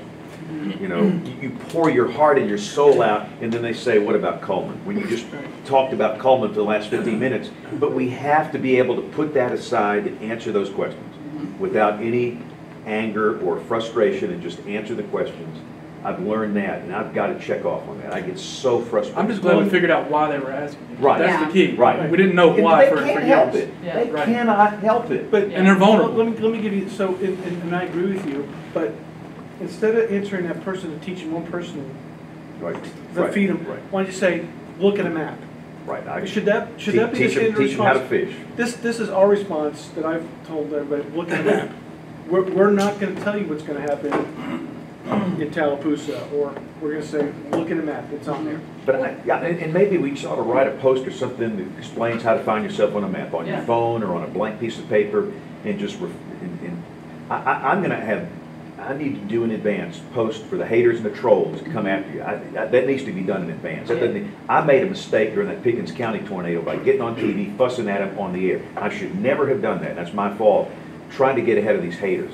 That doesn't matter. In the overall scheme of things, that I doesn't kind of liked matter. it. Uh, But I, I- I think we need to just do this in advance and just be able to people over to the, here, go here, go here, go here, go here. And this is how to learn how to find yourself on a map. I've got to do that now on a nice day like today. Well, we're, we're, we wrote an article for uh, AL.com that's gonna be coming out, and it's gonna hit front pages of every newspaper in the state, and it should be coming out here probably mid-November. So you can wait for that to come, link to that, but we're gonna be talking about these kind of issues about, you need to educate yourself on where you live. You have to do that if you live in this state. And we can help them, like you're saying, by providing that blank map. There's also technological ways. You know, we can actually build an app where we could actually, you know, it's a game where you figure out where you're at, you know, doing a game on a piece of technology. I agree. Yeah. Uh, Well, you, you go to Google Maps and, and there's not a county line on it. Right, Yeah. that's, that's why you can't use Yeah. the Apple or Google Maps, because you don't have county lines on there. Right. It's gonna have to be something that's created just for this purpose. And there, and I do believe there's a subset of people that aren't gonna do anything. We can't help them. I cannot waste my time on that sub, small subset of people. We've gotta focus on the ones that wanna help themselves. And my heart is for these people that are not educated and that can't read a map. Yeah. And we've gotta make it easy, and I can't get frustrated. And there's gotta, be some, surely there's an app out there. We, we all need to find some kind of good app where they can learn where they are. Or make one. You know, Who's- right Who's a coder in this that room? app. There's gotta be somebody in this room that I can write took code, code. I took coding. I've got them, I've got them. Xcode's not that hard. Yeah. Uh, that would be very easy to do. Wouldn't it be nice if there was an organization Hopefully. The Center for Advanced Public Safety. Dr. Rubiera, that's what we do here at CAPS. We de- develop mobile apps and software.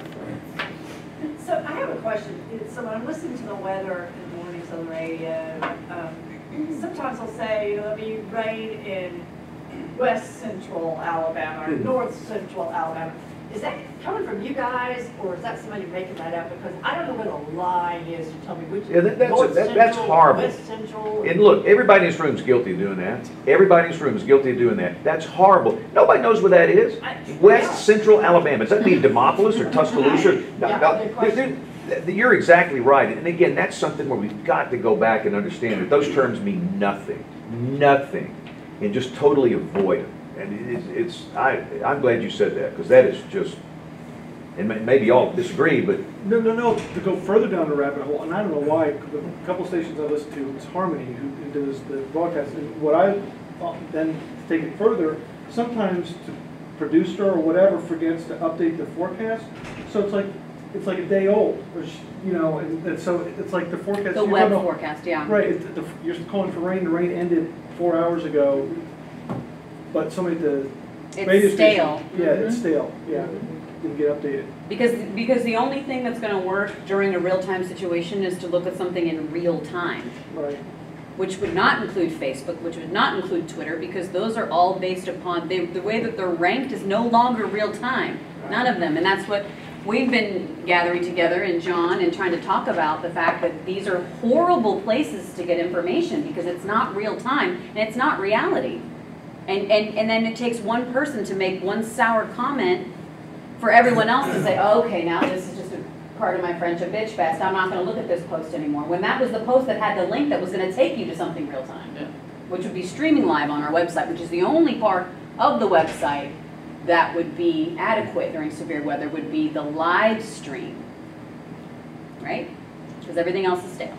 And that's it. And what does the public know to look at? And do they understand when something's stale? And do they understand that certain things are trying to drive them to other information? Because you guys engage in this huge process of putting this information in different places and trying to get them through a time frame as well as to the most current information, whether it's radar information, where it's, you know, the current forecast. It's a process. It, like you're saying, we're spending all this time on communication. And so how do we simplify that process? How do we work through all these glitches that make it difficult?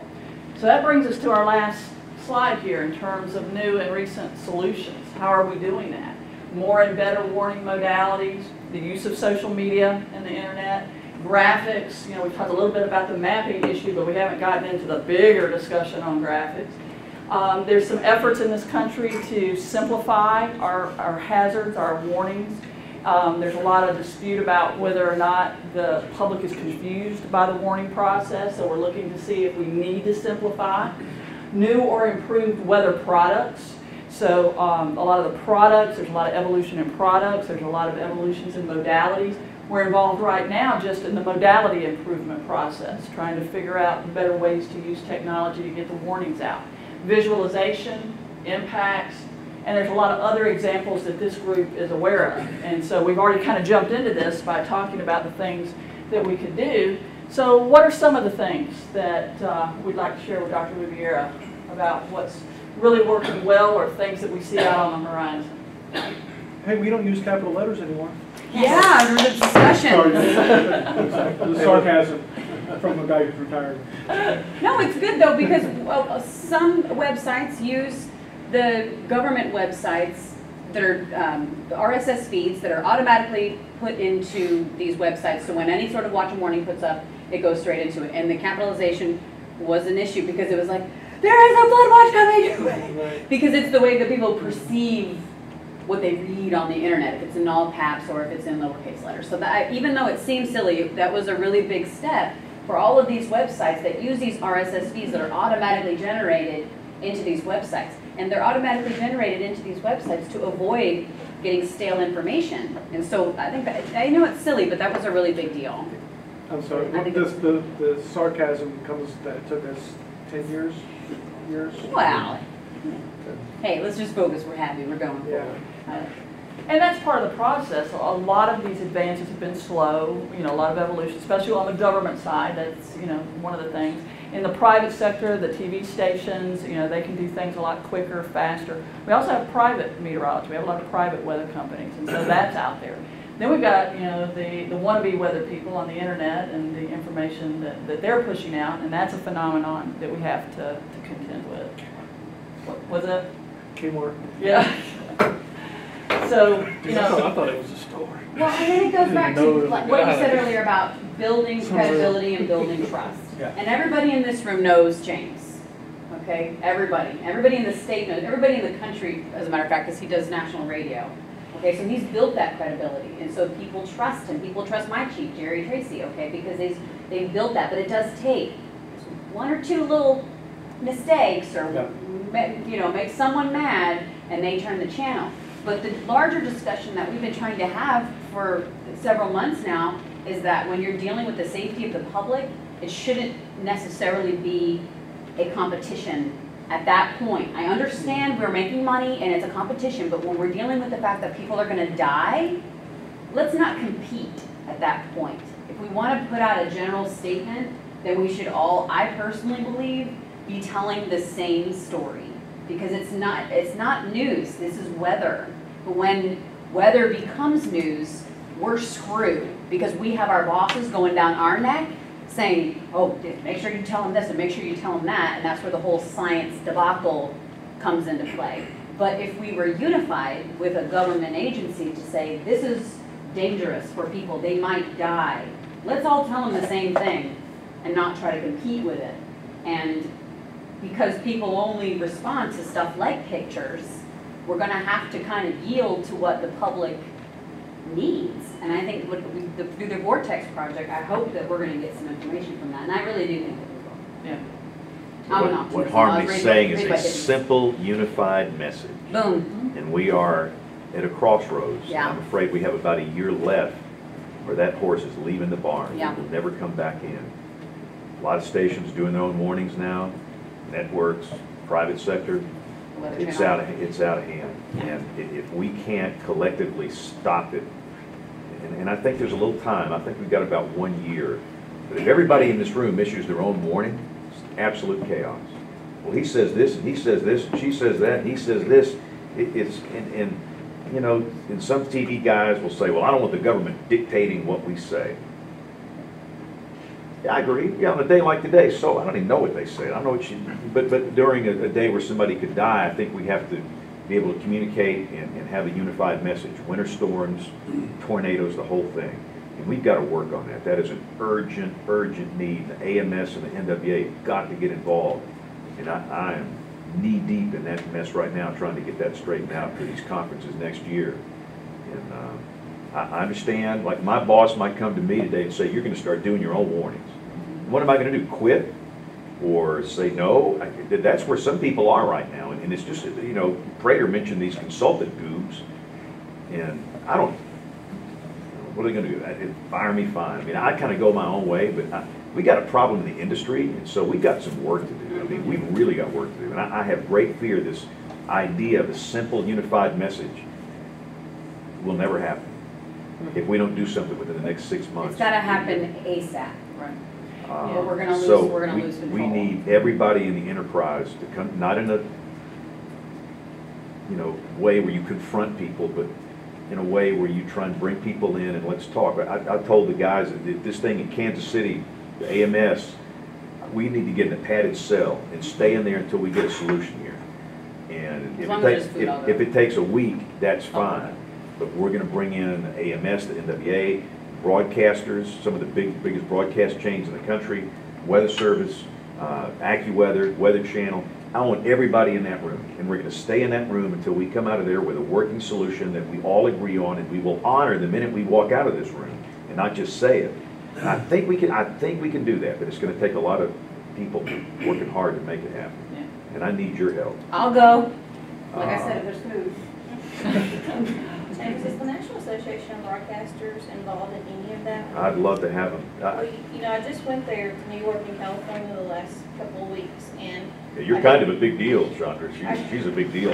I kind of did a project with them, with James and 13, Jerry, and all the stations in this market, and Joplin, and Hurricane Sandy when it hit.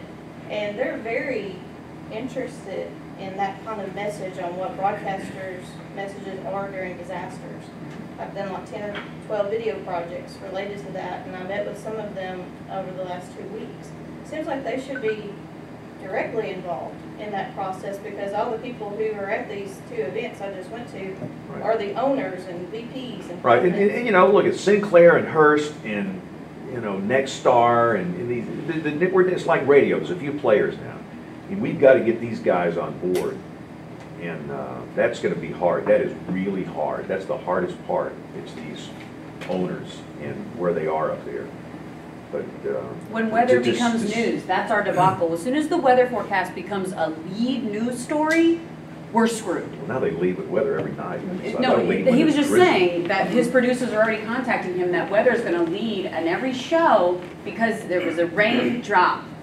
Okay, and, and but that's not, it wasn't his call, it was our boss's call. So weather has now become news, and that's why I- it has to be communicated to the people that are running the stations Sure. that were scientists. Connor, here's the problem. You go to Oklahoma City, one guy says, get in your car and drive south. One guy says, you will not survive unless you're underground. The next guy says, go to the lowest floor in a small room. What are you supposed to do? This is insane.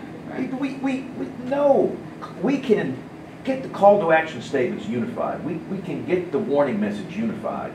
But we've got to put aside egos, territorial boundaries, power, all this stuff that comes into play with the weather service, with, the- with us. And I, I hope we can do it. I don't know if we can do it. By golly, I'm going to try. And I, I'm hoping next year is going to be a good year, so I didn't mean, I'm sorry. I wasn't even going to talk when I came in If you're here. saying there's a year's window though, I do have some good contacts to put you in touch with. Good. I'll, I'll, I'll, we'll, we'll talk. That really, that, that may be a good time. But I, I'm just telling you, every TV station is going to be doing their own warning soon if we don't do something.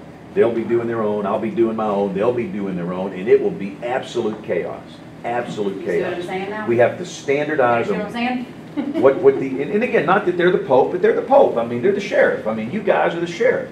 I mean, there- there, there is nobody better, there's no better Sue in this country than this guy right here. And I'm not pumping sunshine up his skirt, but this guy is darn good. And what gives you the right to think you're better than Kevin Laws? In, in the, I'm sorry, I'm getting one. But we, we, we Yeah, got. go with it. We have to have a simple, unified message, because these people can't even read maps. Mm-hmm. And, and if we just infuse the whole thing, it's gotta be kept simple and Right. unified, so I'll stop there. Maybe we should be like Cuba, and the government takes over the television stations. They could. It would be much easier, right, to, Well, I don't know, but uh, the Weather Channel give attribution to the National Hurricane Center for the advisories. And that's it, it's the National uh, Meteorological uh, System who is giving the word. And Weather Channel is, well, majority of the Weather Channel is explaining, uh, translating to the public what the uh, National Weather Service says. And that's good examples in the States. Yeah, and that's the thing, trying to get this consistency, and I think to demonstrate the reality to everybody that needs to be on board with this is to understand what happens in a big event. You were talking about the different groups you've worked with, Joplin, Sandy, those entities. Those big ones illustrated where that inconsistency became a problem. And our most recent one's gonna be Hurricane Matthew.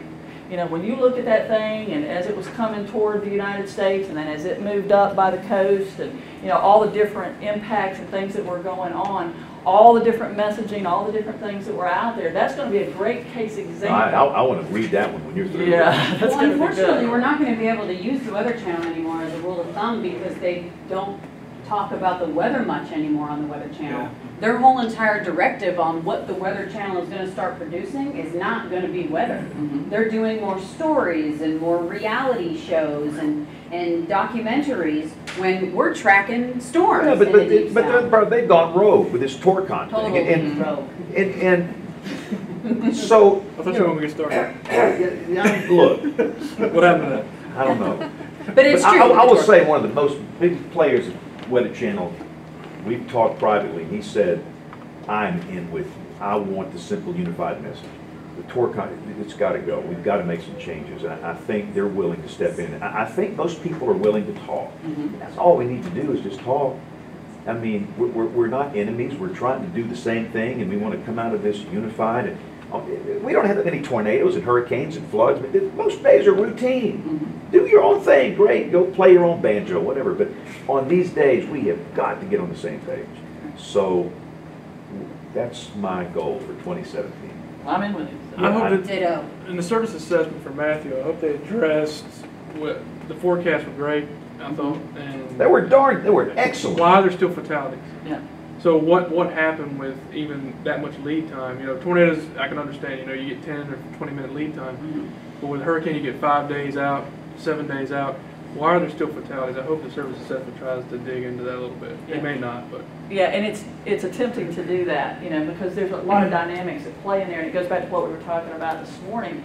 People's perceptions about what hurricanes do, where the cone was, what they think happens on the right side and the left side of the cone, uh, the understanding of storm surge, um, the flooding impacts. I mean, that flood thing's gonna be huge, what happened in North Carolina. Right. And so trying to understand the messaging and the consistency there and, you know, what people got and what they knew. And again, remember, a lot of people were making decisions and they're making decisions on that risk continuum. So sometimes the fault goes back to the decision maker and not the information. So we gotta root that out as And part of it's the fatigue factor. Yes. five days out, you're talking about it, four days out, three days, after a while, they're, they're just tuning out of it because they're exhausted. Right. But are the decision makers being consulted by scientists? Or are they be, being consulted by other decision makers?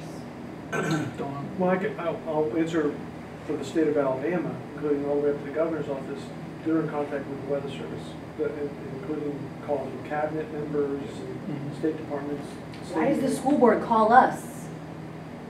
I mean, schools, ca- straight up schools just call us up, Rogue in the Weather Center, we're in here. Well, They do briefings. I mean, y'all do briefings for. But they still call. But it's exactly like Jim said. And they should call you. And they're all independent, and it typically, it's the domino effect. Once one makes a decision, then they'll all start. Oh. Well, following And that- we The- could the talk- issue that- is that's a who whole they're nother using, day to if- talk about the whose- school Whose problem. information they're using then. Right. You know, if, if they're calling, one of them's calling NBC, one's calling ABC, and we get one or two that maybe look at our briefing, then we have It goes back, disparate it goes back to a simple, unified message. I usually give them whatever you guys have already issued. That's just my We- go-to, to stay unified. Yeah, I gotta go. Yeah, it's, we're, we're almost at the one o'clock hour. We, we gotta get the broadcast meteorologists back to work if they've got uh, their evening shift coming up ahead of them. But we are up to our one o'clock hour, that's what I promised you guys. And this has been a really great discussion, you know, to share with Dr. Rubiera and also to learn from Dr. Rubiera about uh, what goes on in Cuba. That's been very enlightening to Yes. me. Very much. Yes, definitely. Thank you. Thank So, you. I appreciate all of you coming, and of course, we raised a lot of our, you know, good issues, and so springing off of this, we'll do stuff with this information. I definitely want to be involved with, Oh, yeah, you know, you're, you're in my plan. all right, definitely. And for the rest of you as well, you know, I work with a lot of you, you know, on different things, and so as you need us, uh, uh, I'm going to be working with Kevin on this mapping issue, Mhm. and so we can actually build that map. I can't wait for that to happen. I think you're gonna be shocked. I mean, the preliminary results are showing nine out of ten high school graduates don't know, and college graduates, six out of ten. That breaks my heart. So we're in trouble. I But mean, what they we're- do, we're I'm big telling you, trouble. I've, s- I watch these college kids, they use maps all the time, but they- they wait for it to turn here, go here, do this, do this, they don't even look at it, they just sit, it talks to them. That's right, My my what to do. daughter went to Troy, took a geography class, and, and was the older gentleman who was into weather. So he taught weather. He didn't, he didn't teach a country. Wow, that's great. All right, get some more food on the way out if you like.